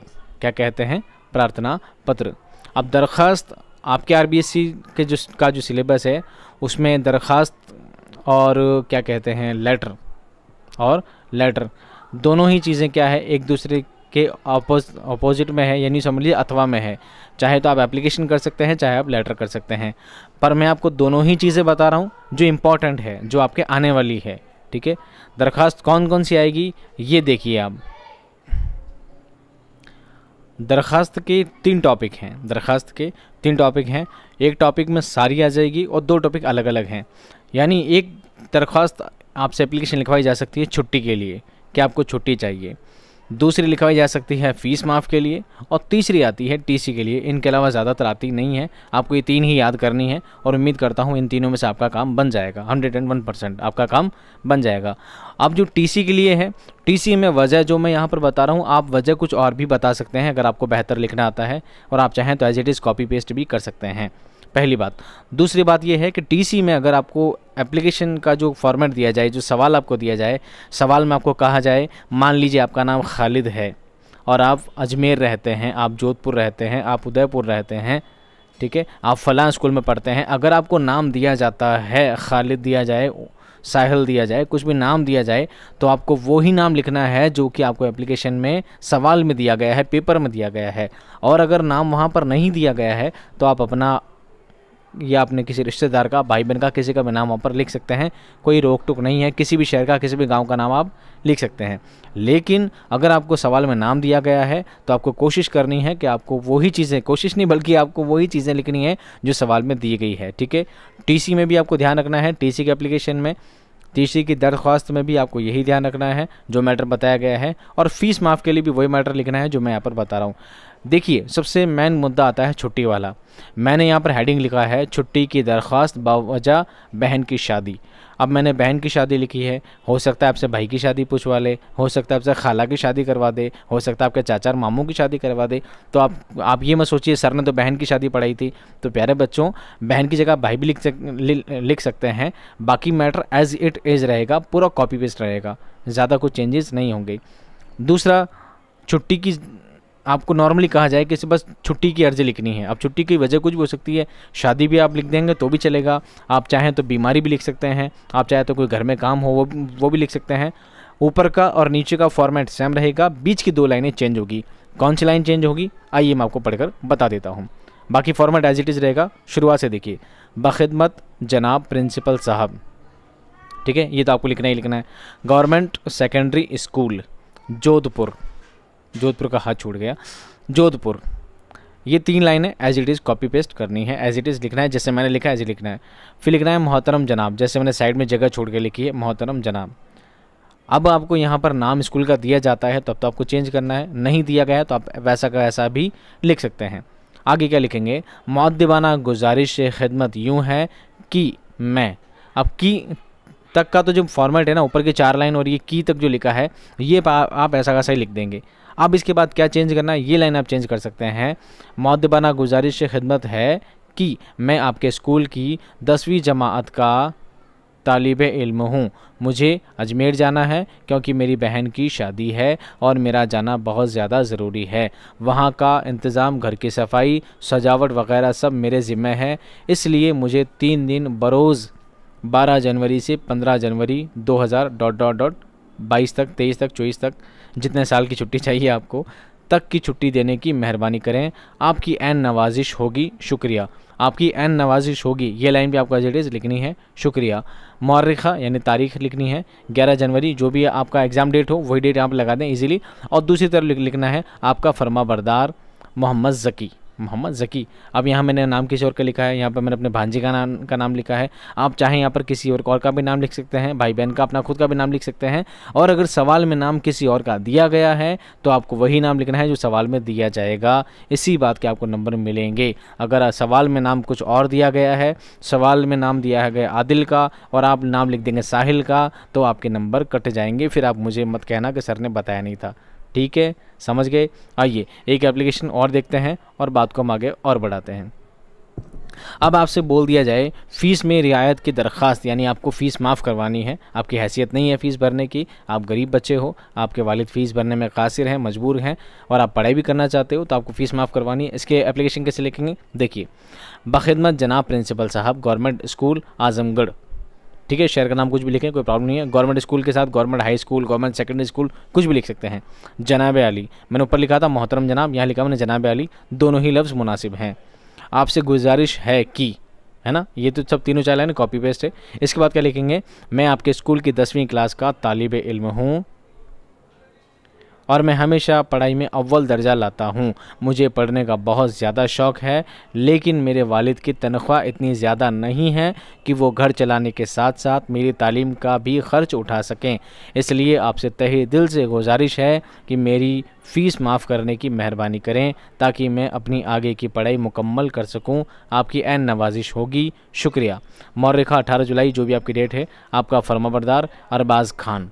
यहाँ पर भी कुछ भी नाम आप लिख सकते हैं। देख लिया आपने, दोनों एप्लीकेशन बिल्कुल सेम है। ऊपर वाला, नीचे वाला मैटर जो है, बिल्कुल एज इट इज़ रहेगा, जैसे मैंने लिखा है। बस बीच में आपको वजह बतानी है, जो भी आपसे वजह एग्ज़ाम आपसे पूछी जाती है, बस वही वजह आपको चेंज करनी है। बाकी एज इट इज़ मैटर वैसा का वैसा ही रहेगा। अब भी समझ में नहीं आया है तो लास्ट एक एप्लीकेशन हम और देख लेते हैं, और इन तीनों में से ही कोई एक आएगी। बिल्कुल श्योरिटी के साथ मैं कह रहा हूँ। स्कूल से तबादला नामा टी की दरख्वास्त। आपको टीसी चाहिए स्कूल से, नाम कटवाना है, ठीक है? अब इसमें क्या लिखेंगे? अब सोचिए, हमेशा लड़का ही लड़का लिखे, हो सकता है लड़की के बारे में भी लिख दी जाए। तो लड़की बॉयज़ स्कूल में तो नहीं पढ़ेगी, लड़की कहाँ पढ़ेगी? गर्ल्स स्कूल में, ठीक है? तो हो सकता है कोई लड़की, कोई बच्ची मेरा वीडियो देख रही है तो बच्ची कैसे लिखेगी? एज इट इज़ ऐसे लिखेगी, बखदमत मोहतरमा प्रिंसिपल साहिबा। प्रिंसिपल साहब को प्रिंसिपल साहिबा ठीक है, यहाँ पर लेडी प्रिंसिपल है, ठीक है प्रिंसिपल साहिबा। गवर्नमेंट सीनियर सेकेंडरी स्कूल यहाँ पर बालिका स्कूल गर्ल्स स्कूल भी हो सकता था। हैदराबाद, मोहतरमा साहिबा। मोहतरम को मोहतरमा, साहिब को साहिबा। हा हा और लगाना है, बाकी सब सेम रखना है। अगर एग्ज़ाम में लड़की का नाम भी दे दिया जाता है कई बार और बच्चे कन्फ्यूज़ हो जाते हैं, बच्चे मोहतरम जनाब हेडमास्टर साहब सब लिख देते दमादम। तो ज़ाहिर सी बात है बच्चों गर्ल्स है तो गर्ल्स स्कूल में पढ़ेगी, वहाँ पर प्रिंसिपल साहब नहीं होंगे प्रिंसिपल साहिबा होंगी। ठीक है? इस बात का भी ध्यान रखें। मौदबाना गुजारिश है कि मैं आपके स्कूल की दर्जा दसवीं की तालिबा तालिबा हूँ। मैं यहाँ दर्जा एक से मुसलसल पढ़ रही हूँ। मेरे वालिद साहब का तबादला जयपुर से अजमेर हो गया है। सब घर वाले अजमेर जा रहे हैं, इसलिए मैं भी उनके साथ अजमेर जा रही हूँ। मैं अपनी तालीम का सिलसिला आगे भी जारी रखना चाहती हूँ और किसी दूसरे हाई सेकेंडरी स्कूल में दाखिला लेना चाहती हूँ। इसलिए आपसे गुजारिश है कि आप मेरा तबादला नामा टी देने की जहमत फरमाएँ। एन नवाजिश होगी। शुक्रिया। मौरखा बाईस अगस्त कुछ भी डेट आप डाल सकते हैं, जो आपके एग्ज़ाम डेट है, आपकी फर्मा बरदार तालिबा। यहाँ पर तालिब इल्म की जगह क्या लिखेंगे? तालिबा, क्योंकि लड़की है। नीचे नाम लिखा है सना कौसर। क्या लिखा है? सना कौसर। आप अपनी किसी का भी नाम लिख सकते हैं, ठीक है? मैं बोलूँगा नहीं ज़्यादा। तो उम्मीद करता हूँ ये तीनों एप्लीकेशन आपके समझ में बैठ गई होगी। अगला हमारा टॉपिक है खतूत नवेसी। आपको एप्लीकेशन और खतूत नवेसी दोनों दिए जाएँगे। ठीक है लेटर और एप्लीकेशन दोनों दिए जाएँगे, बीच में अथवा लगा होगा। आप चाहें तो एक ख़त लिख सकते हैं, पत्र लिख सकते हैं, आप चाहें तो प्रार्थना पत्र यानी एप्लीकेशन लिख सकते हैं। दोनों में आपको ऑप्शन दिया जाएगा। मैंने आपको तीन एप्लीकेशन बता दी है, तीनों एप्लीकेशन बिल्कुल सेम फॉर्मेट में है। तो जिस तरह मैंने आपको तीन एप्लीकेशन बताई है कितनी बताइए? तीन एप्लीकेशन बताई है टीसी की है, उसका मैटर अलग है, जो फ़ीस माफ़ी की है, उसका मैटर अलग है, लेकिन जो छुट्टी वाली है, छुट्टी में वजह कुछ भी हो सकती है, पूरा मैटर सेम रहेगा, भाई की जगह बहन बहन की जगह खाला, चाचा, मामू कुछ भी हो सकता है। और अगर आपसे छुट्टी के लिए कहा जाए तो आप ये भी लिख सकते हैं, पूरी एप्लीकेशन वैसी की वैसी लिखनी है, जहाँ पर शादी वाली बात लिखी गई है, आप शादी वाली बात को हटा दें, वहाँ पर लिखें कि मुझे कल रात से तेज़ बुखार आ रहा है, इसलिए मैं स्कूल नहीं आ सकता, आप मुझे एक दिन की, दो दिन की छुट्टी देने की जहमत करें। ठीक है? या मेरे घर पे बहुत ज़रूरी काम है और मैं कहीं और जाना चाहता हूँ, इसलिए मैं स्कूल नहीं आ सकता। इसलिए मुझे दो दिन की, तीन दिन की, चार दिन की छुट्टी देने की जहमत करें। एज इट इज़ लाइन वैसी की वैसी रहेगी। बस आप अपना नाम, अपना कॉन्सेप्ट वहाँ पर चेंज कर देंगे, ठीक है? ऐसा ही काम खतूत में करना है। ख़त ज़्यादातर किसके लिए लिखवाए जाते हैं? या तो ख़त आपको लिखवाया जाएगा वालिद के नाम, यानी आपके वालिद के नाम, वालिदा के नाम, यानी पापा के नाम, मम्मी के नाम, भाई के नाम, बहन के नाम, ठीक है? किसी को भी ख़त लिखवाया जा सकता है और यह लिखवाया जा सकता है किसी दोस्त के नाम, ठीक है? तो भाई बहन, पापा, मम्मी, चाचा जिसके नाम भी लिखवाया जाए, सभी के matter as it is same रहेंगे। एक दोस्त वाला जो मैटर है, वो थोड़ा अलग है। इसलिए मैं आपको दो ख़त बता रहा हूँ अलग अलग दोनों में ही आपको क्या ध्यान रखना है, तरीका ध्यान रखना है। आपको जो भी आपसे मसला पूछा जाए, जो मसला आपको बयान करना है, और ख़त में वो बात आपको शामिल करनी है। देखिए, एक ख़त मैं पढ़ के बताता हूँ आपको। अपने वालिद साहब के नाम एक ख़त लिखिए जिसमें किताब ख़रीदने के लिए चंद रुपए तलब किए गए हों। यानी वालिद साहब को ख़त लिखना है और क्या बताना है कि मुझे कुछ पैसे चाहिए। तरीका बिल्कुल एज इट लिखना है। अगर आपको इम्तहान में एड्रेस दिया गया है, तब तो आपको एड्रेस वो लिखना है। एड्रेस नहीं दिया गया है तो आप कुछ भी एड्रेस लिख सकते हैं। 219 विकास नगर अजमेर। आप 219 की जगह 420, 846, 132, 322 कुछ भी संख्या लिख सकते हैं। विकास नगर की जगह आप प्रताप नगर आदर्श नगर कोई भी नगर लिख सकते हैं। अजमेर की जगह आप अजमेर जोधपुर भीलवाड़ा ठीक है? जो भी जगह आपको सूटेबल हो जो भी जगह अच्छी लगे जहाँ पर आप रहते हों वो जगह आप नाम लिख सकते हैं ठीक है? 26 जुलाई 2000 मैंने जगह छोड़ी है लेकिन आप यहाँ पर तारीख लगाना जिस दिन आप खत लिख रहे हैं ना उसकी तारीख लगाना ज़रूर। अब यहाँ लिखा प्यारे अब्बा जान अगर ये ख़त आप अपनी वालिदा को लिखते हैं तो क्या लिखेंगे? प्यारी अम्मी जान। अगर भाई को लिखते हैं तो प्यारे भाई जान। बहन को लिखते हैं तो प्यारी आपा जान। ठीक है, बहन जान नहीं हो, आपा जान। समझ में आ गई? चाचा के लिए लिख रहे हैं तो प्यारे चाचा जान। मामू लिख रहे हैं, प्यारे मामू जान। किसी को भी लिखवाएँगे, ऊपर की दो लाइन सेम रहेगी। अब्बा जान की जगह यहाँ पर रिश्ता क्या हो जाएगा? चेंज हो जाएगा। अब साइड में लिखेंगे अस्सलाम वालेकुम अब यहाँ पर बहन भाई सभी को तो सलाम आपको करना ही करना है, चाहे तो पापा हो, चाहे मम्मी हो तो सलाम से आपको शुरुआत करनी है। ये तीन लाइन अगर आपने एज इट इज़ तीन चार लाइन आपने एज इट इज़ लिख दी, आपको एक से लेकर दो नंबर आपको इससे मिल जाएँगे। एक डेढ़ दो नंबर आपको इससे मिल जाएँगे। अब आपको क्या करनी है? बात की शुरुआत करनी है। अब जो मैटर है ना, मैटर तीन टुकड़ों में होता है। कैसे होता है? ये देखिए। उम्मीद है कि आप सब घर वाले बखैरियत होंगे। अब आप सभी को ये लिखेंगे, भाई को, बहन को ठीक है? सभी को ये बात लिखेंगे। उम्मीद है कि आप सब घर वाले बखैरियत होंगे, यानी राज़ी खुश होंगे खुश होंगे। मैं भी यहाँ खुदा के फजल करम से खैरियत से हूँ। मैंने यहाँ पर पैराग्राफ चेंज कर दिया, आपको पैराग्राफ चेंज नहीं करना है। मैंने सिर्फ़ बताने की कोशिश की है कि ये जो बात है, ये आपको परमानेंटली सभी में डालनी है। चाहे किसी को भी खत लिखना हो भाई बहन पापा पापा, मम्मी, नाना, चा, नाना, नानी, दादा, दादी, सबके लिए सेम रखना है, ठीक है? बीच का जो मैटर है, मेरी पढ़ाई बहुत अच्छी चल रही है। अब यहाँ पर मुद्दा लिखना है, जिसके लिए आपको ख़त लिखना है। आपको पढ़ाई के लिए लिखना है, पैसे के लिए लिखना है, बीमारी के लिए लिखना है, कुछ बात बतानी है, कहीं घूमने जाना है, जो भी आपको मकसद आपको दिया जाए इम्तहान में, आपको वो बात यहाँ पर लिखनी है। उससे बोलते मुद्दा मैंने मुद्दा आपको बयान करना है। मेरी पढ़ाई बहुत अच्छी चल रही है। उम्मीद है कि इम्तहान में अच्छे नंबरों से पास हो जाऊँगा। मुझे इम्तहान में अच्छे नंबर लाने के लिए कुछ किताबों की ज़रूरत है, इसलिए मैं कुछ किताबें ख़रीदना चाहता हूँ। इसलिए मुझे पाँच सौ रुपये बज़रिए मनी ऑर्डर इरसाल फरमाएँ ताकि मैं वक्त पर किताबें ख़रीद सकूँ। अब यहाँ पर मैंने मुद्दा बयान कर दिया है। पैराग्राफ अलग नहीं करना आपको ये पैराग्राफ उसी के साथ ही ज्वाइंट करके रखना था, अलग नहीं करना था। बस मैंने आपको बताया मुद्दा ये।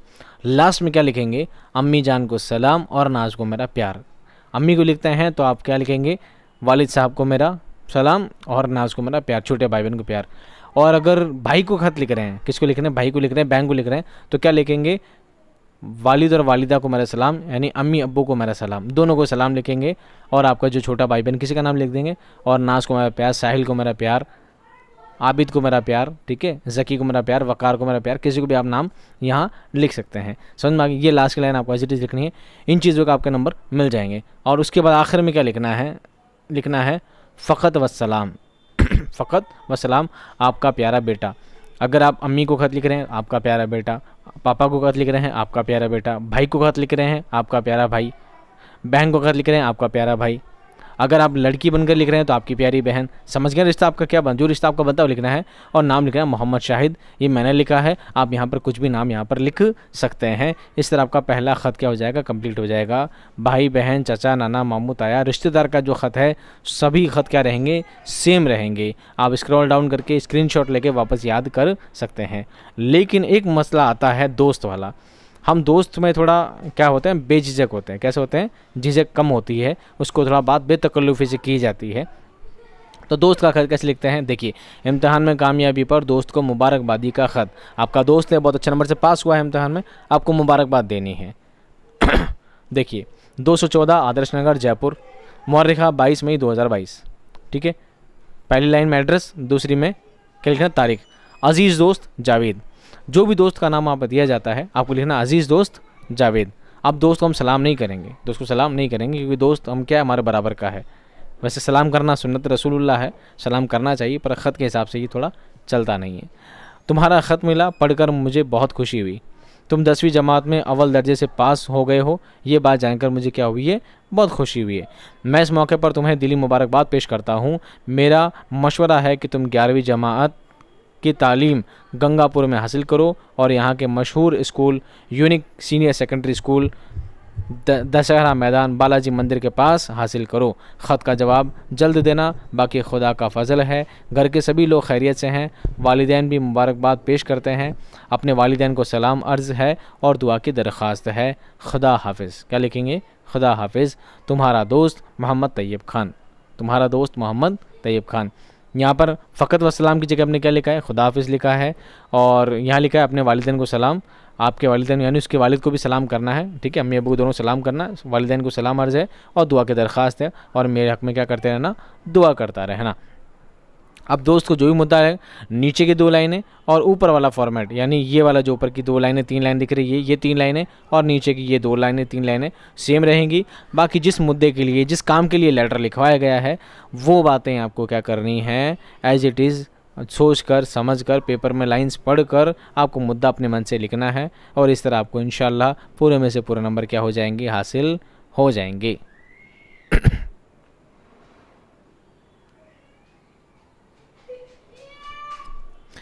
अगला हमारा टॉपिक है गज़ल, नज़म और रुबाई। हालाँकि आपके सिलेबस में चार दे रखे हैं। मैंने आपको सिर्फ़ तीन ही बता रहा हूँ। क्योंकि तीन में से आपके एग्ज़ाम में सिर्फ़ दो आने वाली है। या तो आपसे पूछा जाएगा, गज़ल की तारीफ़ बयान करो। गज़ल की तारीफ़ बयान करो। यह आएगा, अथवा, या और, या, नज़म की तारीफ़ बयान करो। या आएगा, रुबाई की तारीफ़ बयान करो। तीन में से कोई भी दो आएँगे। आपको चार है, आपके सिलेबस में चार है। चार में से कोई दो आने वाले थे। एक जो नहीं आने वाला है, मैंने हटा दिया। इन तीन में से कोई दो आ जाएँगे। आपको दो में से सिर्फ़ किसी एक की तारीफ़ बयान करनी है, यानी सिर्फ़ परिभाषा लिखनी है ईजीली और आपको तीन नंबर या शायद पाँच नंबर का सवाल है, आपको ईजिली मिल जाएँगे। गज़ल किसे कहते हैं, नज़म किसे कहते हैं और रुबाई किसे कहते हैं, आपको वो बातें लिखनी है। एक बार आप ढंग से सुन लोगे तो इन एक बार में ही आपको याद हो जाएगा। देखिए गज़ल उर्दू शायरी की सबसे मकबूल सिनफ सुखन है। प्रोफेसर रशीद अहमद सिद्दीकी ने इसे बजा तौर पर उर्दू शायरी की आबरू कहा है। उर्दू में जब से तनकीद का बाकायदा आगाज़ हुआ, उस वक्त से लेकर अब तक गज़ल तरह तरह के एतराज़ात का निशाना बनती रही है। लेकिन उसकी मकबूलियत कम होने के बजाय हर बार बढ़ती ही गई और ये साबित हो गया कि गज़ल में ज़माने के साथ बदलने और ज़रूरत को पूरा करने और हर तरह के मजमून को अदा करने की सलाहियत मौजूद है। और अब तो ये बात रोज़ रोशन की तरह आया है कि सिनफ सुखन को कभी जवाल ना होगा। गज़ल अरबी ज़बान का लफ्ज़ है। देखिए, ऊपर की जो बात है, ये बात आप ना भी लिखें तो भी चलेगा। आप सिर्फ़ नीचे की ये जो मैं दोबारा पैराग्राफ पढ़ रहा हूँ ना यहाँ से, आप इतना भी याद कर लेंगे तो भी पूरा लिखें तो बहुत बेहतर आपको अच्छे नंबर मिल जाएँगे। लेकिन बाद में जो चार लाइनें मैं पढ़ रहा हूँ, आपको इतना तो लिखना ही लिखना है। इतना तो लिखना ही लिखना है, वो एक्स्ट्रा के लिए है। ठीक है, आप यूँ बोला, सर ने सवाल बहुत बड़ा बना दिया इसका जवाब बहुत बड़ा है, इतना बड़ा नहीं है। जवाब मैं यहाँ से पढ़ रहा हूँ, यहाँ से आप सुनिए। इसके बाद का जो सवाल, जवाब है, ये तो लिखना ही लिखना है। अगर ऊपर वाला भी आप उसकी एक दो लाइनें, दो चार लाइनें इसमें से ऐड कर सकते हैं तो आपके लिए बेहतर होगा। क्या याद करना है? गज़ल अरबी ज़बान का लफ्ज़, अरबी ज़बान का लफ्ज़ है और इसके मानी है औरतों से बातें करना या औरतों की बातें करना। इस सिनफ को गज़ल का नाम इसलिए दिया गया है कि हुस्न इश्क ही इसका मौजू होता था। लेकिन वक्त गुजरने के साथ साथ इसके मौजूद में वसत पैदा होती गई और आज गज़ल में हर तरह के मजमून को पेश करने की गुंजाइश है। अब गज़ल में रदीफ़ होता है, काफ़िया होता है, बहर होती है, मतला होता है, मख्ता होता है। ये बातें भी अगर आपको याद है तो आप इसमें ऐड कर सकते हैं और नहीं याद है तो प्यारे बच्चों, इसी से आपका काम चल जाएगा। ठीक है? अब दूसरा है नज़म के बारे में। नज़म की तारीफ़ बयान करूँ। अगला टॉपिक है नज़म। नज़म के बारे में देखिए। हर कलाम मौजू, हर कलाम मौजू को नज़म कहते हैं। लेकिन आम असलाह में नज़म से मुराद वो शहरी इसनाफ है और इसालेब है जिनमें किसी मौजू पर रब्त व तसलसल के साथ इजहार ख्याल किया गया हो। लाइन थोड़ी डिफ़िकल्ट है, पर आपको याद करने की कोशिश करनी है। क्या लिखना है? जिनमें किसी मौजू पर रब्त व तसलसल के साथ इजहार ख्याल किया गया हो। इस एतबार से गज़ल के अलावा शायरी की बेशतर असनाफ़, मसलन कसीदा, मसनवी, मरसिया और रुबाई वगैरह उसके दायरे में आ जाते हैं। दौर कदीम में नज़म के कुछ ख़ास असालेब का रिवाज रहा है। मिसाल के तौर पर मुसदस मुखम्मस और तरजी, बंद वगैरह।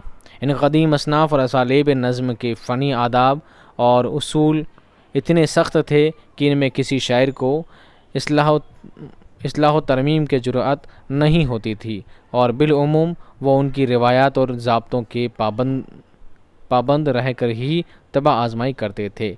लेकिन जब ज़िंदगी के और ज़माने ने करवट बदली, मुल्क में नए हालात और नए मसाइल पैदा हुए, सियासी समाजी, तालीमी और तहजीबी मैदान में नई तब्दीलियाँ रौनमा हुई और नए ख्याल आम हुए तो उर्दू नज़म की रिवायत असालेब में भी तब्दीली की ज़रूरत महसूस हुई और इस तरह नज़म जदीद का आगाज़ हुआ और तकरीबन गुज्त सौ साल का ज़माना नज़म जदीद के फ़रोग का ज़माना कहा जा सकता है।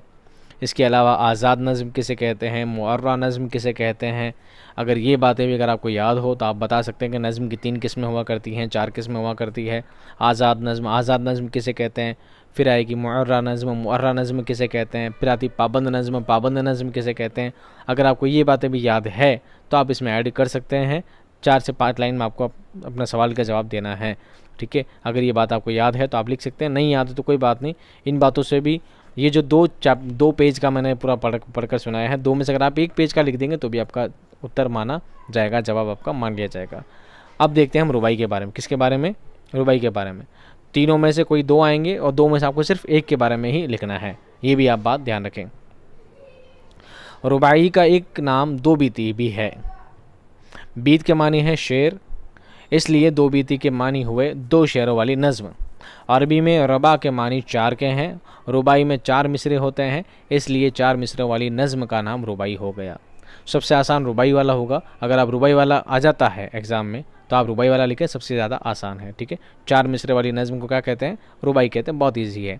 रुबाई ख़ते से मुख्तलिफ़ होती है। क़त में शहरों की तादाद दो से ज़्यादा हो सकती है, लेकिन रुबाई में सिर्फ़ दो शहर या चार मिसरे ही होते हैं।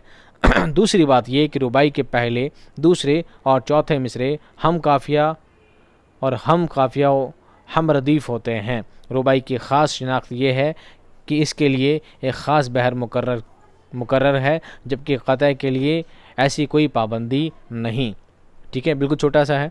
इसके बाद आप ये भी लिख सकते हैं कि रुबाई का चौथा मिसरा रुबाई की जान होता है। रुबाई का चौथा मिसरा रुबाई की रूह होता है। रुबाई का चौथा मिसरा रुबाई का सबसे ख़ास मिसरा हुआ करता है, जो कि रुबाई की जान कहलाता है। और रुबाई में चार मिसरे होते हैं, चार से ज़्यादा नहीं होते हैं। इसके लिए ख़ास बहर मुकर की गई है। उस बहर के अलावा दूसरी किसी बहर में रुबाई नहीं लिखी जाती है। इस तरह की आप चार पाँच लाइनें भी लिख देंगे तो आपका काम हो जाएगा। इन आपको पूरे में से पूरे नंबर मिल जाएँगे। अगला हमारा टॉपिक है मजमून। क्या है? ऐसे। वैसे आपके ऐसे बहुत सारे दिए गए हैं। लेकिन आर बोर्ड के मुताबिक, जो मैंने सबसे ज़्यादा इंपॉर्टेंट समझे हैं कि ये ऐसे आपके आने के बहुत ज़्यादा चांसेस हैं, मैंने उनको यहाँ पर शामिल किया है। सिर्फ़ एक बार पढ़ूँगा, समझाने वाली कोई चीज़ नहीं है। आप ढंग से सुने और इसको याद करने की, समझने की कोशिश करें।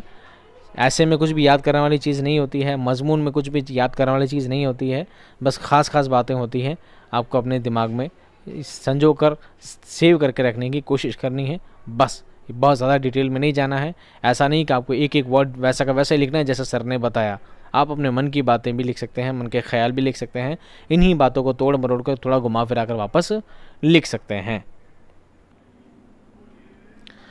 मैंने इस क्लास में तीन मजमून शामिल किए हैं। एक ईद फित्र, दूसरा तालीम नस्वा और तीसरा ताजमहल। क्योंकि ये तीनों ऐसे हैं जो पहले भी कई बार आ चुके हैं। ऐसा डरने वाली बात नहीं है कि एग्ज़ाम एक ही दिया जाएगा, एग्ज़ाम में आपको चार नाम दिए जाएँगे, चार में से किसी एक पर मजमून लिखना है। और चार में से तीन ऑप्शन दूसरे हो सकते हैं, लेकिन चौथा जो ऑप्शन होगा, उन चौथे में, इन तीनों में से कोई ना कोई एक ज़रूर होगा, ऐसी मुझे उम्मीद है अल्लाह ताला की ज़ात से। ठीक है? और चेंज भी हो जाए तो आप मेहनत करिए। ठीक है? मैं अपनी तरफ़ से कोशिश करता हूँ आप तक बेहतर और शानदार कंटेंट पहुँचाते रहने की। आप लोग ये वीडियो ख़त्म होने के बाद मुझे कमेंट में बताइएगा कि आपके जो निसाब में जो जो चैप्टर रखे गए हैं, आपके सात चैप्टर तो हटा दिए गए, ठीक है? सात चैप्टर आपके हटा दिए गए हैं, बाईस में से अब पंद्रह चैप्टर आपके बचे हैं। तो आप ये बताइए कि पंद्रह चैप्टर में कौन कौन से इंपॉर्टेंट क्वेश्चन बनते हैं? उन इंपॉर्टेंट क्वेश्चन के लिए भी वीडियो बनाऊँ या नहीं? आप लोग उस वीडियो को देखना पसंद करोगे या नहीं? जब आप ये वीडियो देखोगे, आपको पसंद आएगा, फिर आप मुझे बताइएगा कि हाँ सर, हमें उसकी भी ज़रूरत है। तो मैं इम्पोर्ट, हर चैप्टर से इंपॉर्टेंट क्वेश्चन की एक सीरीज़ और बनाऊँगा, जिस तरह ये एक डेढ़ घंटे का वीडियो है, ऐसा ही वीडियो एक और लेकर आऊँगा। उसमें हर चैप्टर से खास खास सवाल कि कौन से सवाल आपके एग्ज़ाम में आ सकते हैं, इस चैप्टर से कौन सा सवाल बन सकता है, मैं वो इंपॉर्टेंट क्वेश्चन का सीरीज़ अलग से एक वीडियो और बनाऊँगा। आप उसको देख आधा कोर्स आपका इससे कंप्लीट हो जाएगा, आधा कोर्स आपका उससे कंप्लीट हो जाएगा। दोनों वीडियो आप मिलाकर देख लेंगे तो इन आप बहुत अच्छे नंबर पा, से पास होंगे। ऐसी मेरी पूरी उम्मीद है और मेरी कोशिश है। तो हम आज आपके लिए लेकर आए हैं तीन अलग अलग मजमून और उम्मीद करता हूँ तीनों में से एक इम्तहान में ज़रूर आ जाएगा। आपको बारी बारी सुनने हैं, समझने हैं, ठीक है? पहला जो मजमून है, वो है ईद उल फित्र। ईद जिसे मीठी ईद भी कहते हैं। जैसा कि अभी रमज़ान चल रहे हैं, रोज़े की हालत है। फिर भी मैं आपके लिए कोशिश कर रहा हूँ कि आपको वीडियो प्रोवाइड करूँ ताकि आप इम्तहान में अच्छे नंबर पास कर सकें। आप भी मेरे हक़ में दुआ कीजिएगा, मैं आपके हक़ में दुआ करूँगा। और रमज़ान के इस बाबरकत महीने में अल्लाह ताला हम सभी की दुआएँ क्या करे? कबूल करे। आमीन, या रब्बुल ईद फित्र, वो ईद है जो रमज़ान के रोज़ों के ख़ात्मे पर मनाई जाती है। फ़ित्र के मानी है खोलना। इसलिए जब माह रमज़ान के तीस रोज़े ख़त्म हो जाते हैं तो माह शव्वाल की पहली तारीख़ को रोज़े खोल दिए जाते हैं और ईद मनाई जाती है।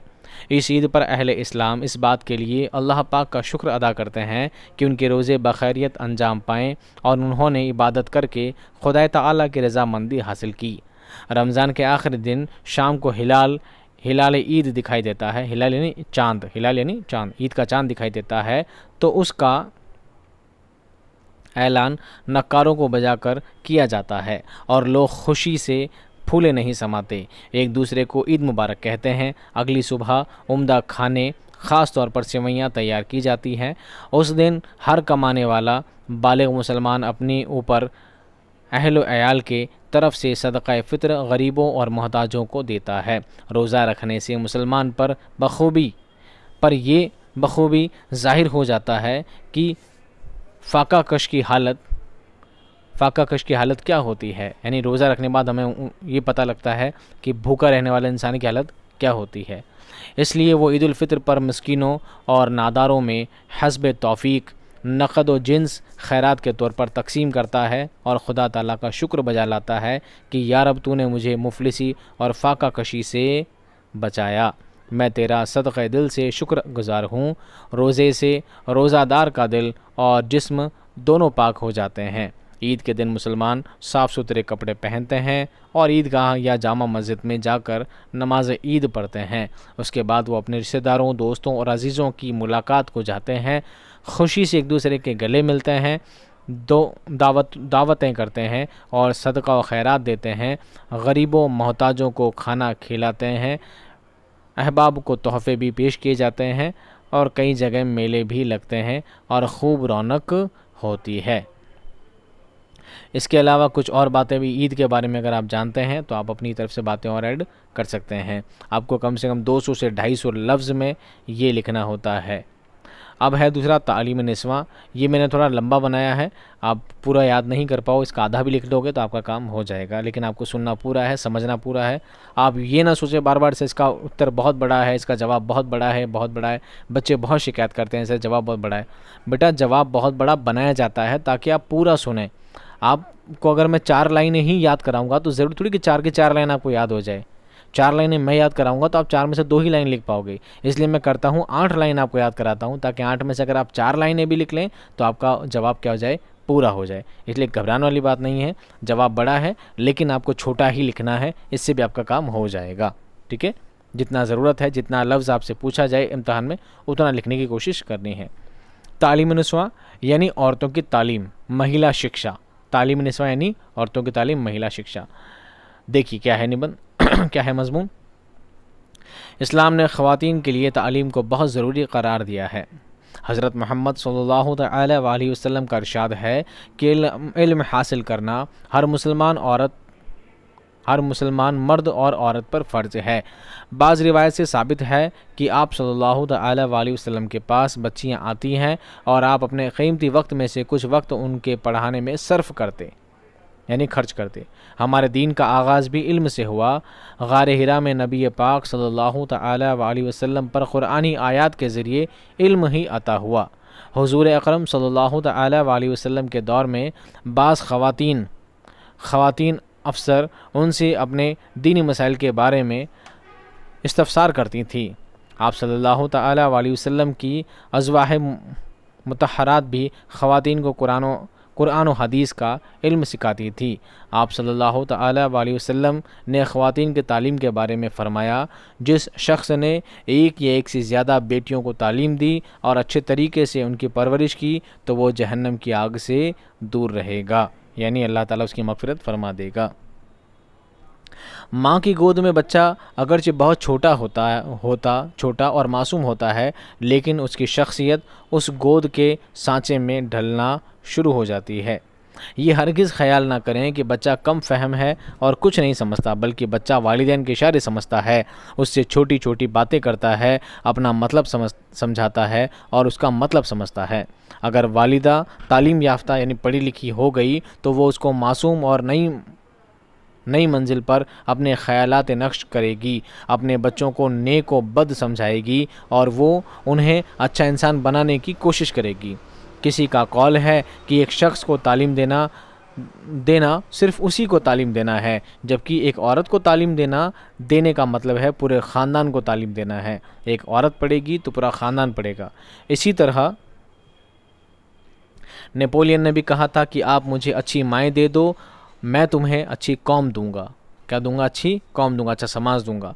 इस्लाम से कबल, यानी इस्लाम से पहले, अरब के लोगों में जहालत और बहुत सी बुराइयाँ थी। वहाँ एक बुराई ये भी थी कि लोग अपनी बेटियों को ज़मीन में ज़िंदा गाड़ दिया करते थे, जब खुदा ने नबी करीम नबी अकरम सल्लल्लाहु अलैहि वसल्लम की ज़ात अक़दस को मबूस फरमाया तो जहालत दम तोड़ गई। इंसानियत के मायूस चेहरे खुशी से खिल उठे। आप सल्लल्लाहु अलैहि वसल्लम ने बच्चियों को उनका हक़ दिलाया, उन्हें पढ़ाने लिखाने और उनकी अच्छी परवरिश पर ज़ोर दिया। वालिदा का पढ़ा लिखा होना बहुत ज़रूरी है। ये सब कहते हैं कि बच्चा घर के माहौल से बहुत कुछ सीखता है। इसलिए वालिद और वालिदा का तालीम याफ्ता होना बहुत ज़रूरी है। आप ज़रा गौर फरमाएँ कि वालिद के को मुलाजमत या कारोबार के सिलसिले में घर से बाहर रहना पड़ता है। घर में सारा दिन बच्चों का सबक़ वालिदा से रहता है। अब अगर वालिदा इल्म के जेवर से आरास्ता हो तो बच्चे अपनी वालिदा से इल्म के मोती ज़रूर हासिल करें, करेंगे। अगर बच्चे वालिदा से पढ़ाई में मदद ना भी लें, फिर भी वालिदा से इल्म की खुशबू आती ही रहेगी। बच्चा पहले दिन रोटी का लुकमा बाएँ हाथ में पकड़ता है तो वालिदा उसे फ़ौर समझाती है कि बेटा लुकमा दाएँ हाथ से पकड़ो।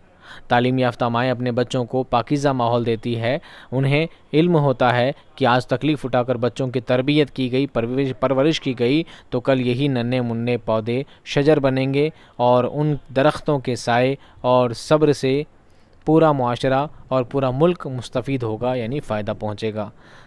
बच्चा जब अपने पाँव पर चलना शुरू हो जाते हैं तो वालिदा यानी माँ अपने बच्चे पर मज़ीद तवज्जो देना शुरू कर देती है। पढ़ी लिखी वालिदा जानती है कि बच्चा अपने माहौल से बहुत कुछ सीखता है। उसे पता है कि गली गली में ऐसे बच्चे भी खेलते हैं जो माओ की तवज्जो के मुस्तक हैं, लेकिन माएँ उन पर उन माएँ अनपढ़ होने की वजह से उन बच्चों को को गली में खेलने, कूदने और गाली गलोज करने से नहीं रोकती। तालीम याफ्ता माँ अपने बच्चों को ऐसा माहौल से दूर रखती है। बच्चों का दिल होता है कि वो अपने हम उम्र बच्चों के साथ खेलें, लेकिन माँ का इल्म बच्चों को ऐसे गंदे माहौल से बचा लेता है।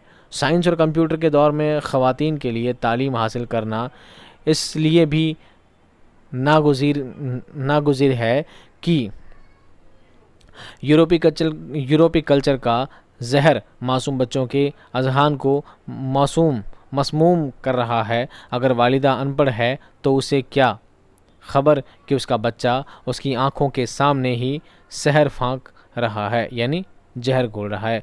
आज तफरीह के नाम पर जो फ़िल्में दिखाई जाती हैं, उनसे बच्चों को दूर रखना रखना पढ़ी उनसे पढ़ी लिखी वालिदा का काम है। बाज़ बच्चे दूसरे बच्चों की देखा देखी से किताबें घर ले आते हैं, जिनके मुतालिक बच्चे वालदेन को झूठ कहना शुरू कर देते हैं। अगर वालिदा तालीम याफ्ता हो तो उसे इल्म हो सकेगा कि उनका बच्चा अच्छी किताबें पढ़ता है या बुरी। वालिदा किताबों के इंतखब में अगर बच्चे की रहनुमाई करेगी तो वो अच्छी किताबों की तरफ़ रागिब होगा। अच्छी किताब, अच्छे दोस्त की मानंद होती है। जिस तरह अच्छा दोस्त अच्छाई की तरफ़ माइल करता है, उसी तरह अच्छी किताब भी अच्छाइयों के रास्ते पर गामजन कर देती है। तालीम याफ्ता वालदा बच्चे को कोई कहानी या वाक़ सुनाती है तो उसका मकसद सिर्फ़ वक्त गुजारना नहीं, बल्कि उसकी निगाहें बच्चे की जहनी तरबियत पर मरकूज़ होती हैं।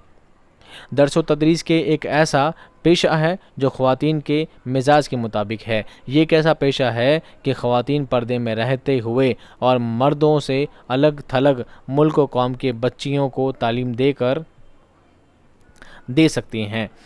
इसके लिए बुनियादी शर्त ख़वान का ख़ुद तालीम याफ्ता होना है। औरत घरेलू ज़िंदगी को जन्नत भी बना सकती है और जहन्नम भी। अगर ख़ातून खान, खातून खाना खाना इल्म से बेबहरा हो तो वो खाना पकाना, सीना, पिरोना और दीगर उमूर सलीके से सर अंजाम नहीं दे सकेगी, जबकि एक पढ़ी लिखी औरत सलीका शियारी और हुनरमंदी से घरेलू जिम्मेदारियाँ भी निभा सकती है। अगर औरत इल्म हिसाब और इल्म मुआशियात को बिल्कुल ना समझे तो उसके घर का बजट तबाह व बर्बाद होकर रह जाएगा। अगर कमाई उन्नीस हो, अगर कमाई उन्नीस हो गई तो वो बीस खर्च करेगी। इस तरह उसका घरेलू निज़ाम उसकी जहालत की वजह से बिगड़ जाएगा।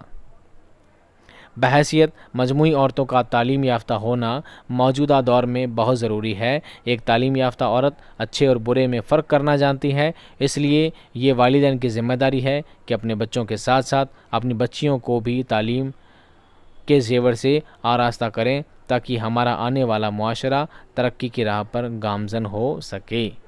ये था महिला शिक्षा पर निबंध, जिसे तालीम नस्वा पर निबंध तालीम नस्वा का मजमून भी कहा जाता है। आज की हमारी क्लास का सबसे आखिरी टॉपिक ताजमहल पर मजमून। सुन लीजिए, बारह आता रहता है। इन उम्मीद है वापस आ जाए तो आप इसको सुन लेंगे, समझ लेंगे तो आपके काम बहुत आएगा। ताजमहल का शुमार दुनिया के सात अजायब में होता है। हिंदुस्तान का बच्चा बच्चा उसकी शान से वाकिफ़ है। जो भी सयाह बाहर से हिंदुस्तान में वारिद होता है, सबसे पहले इस अजूबा रोज़गार की ज़ियारत करता है और उसके हुस्न कमाल पर दंग रह जाता है। उसकी शान और अज़मत के साथ कई सयाहों की दास्तानें वाबस्ता है। एक सयाह ने इसे देखकर कहा, ये ये आलम मरमर का ख्वाब, यानी मरमरी ख्वाब है। किसी ने कहा है कि इस नादिर तोहफ़े को शीशे के अंदर रख देने की ज़रूरत है। एक यूरोपीय ख़ातून इसकी दिलकशी पर इस कदर मशहूर हुई कि अपने शोहर को कहने लगी, अगर मेरी कब्र ऐसी खूबसूरत इमारत बनवा दो तो आज ही मरने के लिए आमादा हूँ। इन कलिमात से ताजमहल की मकबूलियत ज़ाहिर होती है। ताजमहल बहुत ही फ़ेमस जगह है। ये शहर आफाक रोज़ मुग़ल शहनशाह शाहजहां ने अपनी महबूबा, अपनी महबूब बेगम, अपनी धर्मपत्नी मुमताज़ महल की याद में, यादगार में तामीर करवाया था। मौत से पहले मुमताज़ महल ने बादशाह से इस तमन्ना का इजहार किया कि मेरी याद में ऐसा आलीशान मकबरा बनाया जाए जिसकी नज़ीर दुनिया में ना मिले। चुनाचे जब बेगम ने इस दारफ़ानी से रहलत की तो बादशाह ने ताज महल की तामीर का काम शुरू करवाया, करवा दिया। बड़े हुनरमंद और माहिर इंजीनियरों को उस काम पर मामूर किया गया। सफ़ेद संग, सफ़ेद संगमरमर के पत्थर, संग सियाह, संग सुर्ख और बेश कीमत जवाहरात फराहम किए गए। इटली के एक माहरीन फ़न ने, माहिर फ़न ने ताजमहल का नक्शा तैयार किया। बाईस हज़ार कारीगर इस मुहिम पर जुट गए। और 22 साल तक इसकी तामीर में मसरूफ़ रहे। आखिर पाँच करोड़ रुपए की कसर मुसारिफ के बाद ये इमारत पाए तकमील तक पहुँची। एक दर्दनाक वाक़ तामीर के साथ वाबस्ता है। कहते हैं कि जब फ़न तामीर का ये शाहकार मुकम्मल हो गया तो शाहजहां ने सबसे बड़े इंजीनियर उस्ताद ईसा की आँखें निकलवा दी। और उसके हाथ कटवा दिए ताकि वो इस किस्म की दूसरी इमारत ना बना सके और ताजमहल हमेशा के लिए दुनिया में अपनी मिसालें आप रहे। लेकिन ये बात क्या है? झूठ है। ताजमहल का दिल फरीद नज़ारा नाकबिल बयान है। चांदनी रात में तो इसकी दिलकशी और भी बढ़ जाती है। इसको देखने के लिए दुनिया के गोशे गोशे से सयाह आते हैं और जब इस पर निगाह डालते हैं तो अश अश करने लगते हैं। उसकी हसन कमाल फ़न पर दंग रह जाते हैं। ताजमहल में दाखिल होने से पहले जो ही उसकी खूबसूरत, शानदार दरवाज़े पर नज़र पड़ती है तो बेख्तियार मुँह से तहसीन और तारीफ़ के कलमात निकल जाते हैं। ये दरवाज़ा बलिहाज हसन अज़मत बादशाह अकबर के मकबरे के दरवाज़े को भी मात करता है। इस पर कलाम पाक की आयतें कुंदा हैं। अगर दरवाजे पर खड़े होकर अंदर की तरफ़ देखें तो चबूतरे के दूसरे सिरे पर ताज का ताज का नहर के पानी में पड़ता हुआ अक्स अजब मंजर पेश करता है। नहर के किनारे सरू, सनोबर के दरख्त इमारत की शान को दोबाला करते हैं। फूलों और पौधों पर गज़ब का निखार है। संगमरमर के चबूतरे पर खुशनुमा फवारा अजब समा पैदा करता है। इसके अलावा इसके आगे वो वसती हिस्सा है, जहाँ मुमताज़ महल और शाहजहाँ मदफून हैं, यानी दफन हैं। दोनों ख़बरें संगमरमर की बनी हुई हैं। इन पर कीमती जवाहर चढ़े हैं, जिस मकाम पर संग संग मूसा को पैवस्त किया है, किया गया है। वहाँ पत्थरों का पैबंद मुतलक दिखाई नहीं देता। ये कारीगरी का कमाल है कि दाद के काबिल है। ताजमहल में बड़े गुंबद हैं। उनके अलावा दो गुंबद, दोस्ती, दो सती तालाबों के दोनों तरफ़ हैं।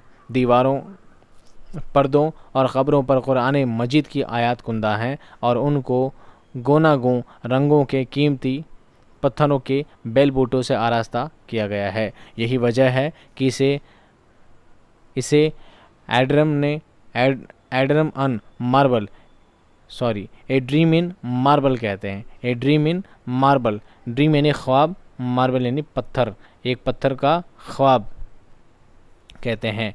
रोज़ा ताजमहल, मुग़ल फ़न तामीर, मुग़ल फ़न तामीर का बेहतरीन नमूना है और दुनिया भर में सबसे ज़्यादा हसीन मकबरा है। ये शाहजहां और उसके बेगम मुमताज़ महल की अमीक मोहब्बत की दायमी यादगार है और उसने बादशाह शाहजहां को ज़िंदा व जावेद कर दिया। हुकूमत हिंद इस रोज़े इस रोज़े की हिफाजत और सलामती का ख्याल रखती है। अगर कहीं मामूली सा नुक्स या खलल पड़ जाए तो फ़ौर उसे रफ़ा कर दिया जाता है। आसार क़दीम को बचाने की गरज से हमारी सरकार लाखों रुपए सर्फ करती है और उनकी देखभाल के लिए एक ख़ास महकमा कर रखा है। रोज़ा ताजमहल का तर्ज तामीर अकबर की इमारतों से मुख्तलिफ़ है। अकबर ने संग सुर्ख से काम लिया, जबकि शाहजहाँ ने संग मरमर इस्तेमाल किया। अकबर की तामीरत की खसूसियत, अजमत और क़वत है तो ताजमहल की नुमाया खूबी, हसन व नज़ाकत है। अकबर की इमारतों से जलाल टपकता है तो शाहजहाँ का ताजमहल जमाल का मरक्का है। एक रोज़, एक रज़मिया है तो दूसरा रूमान है।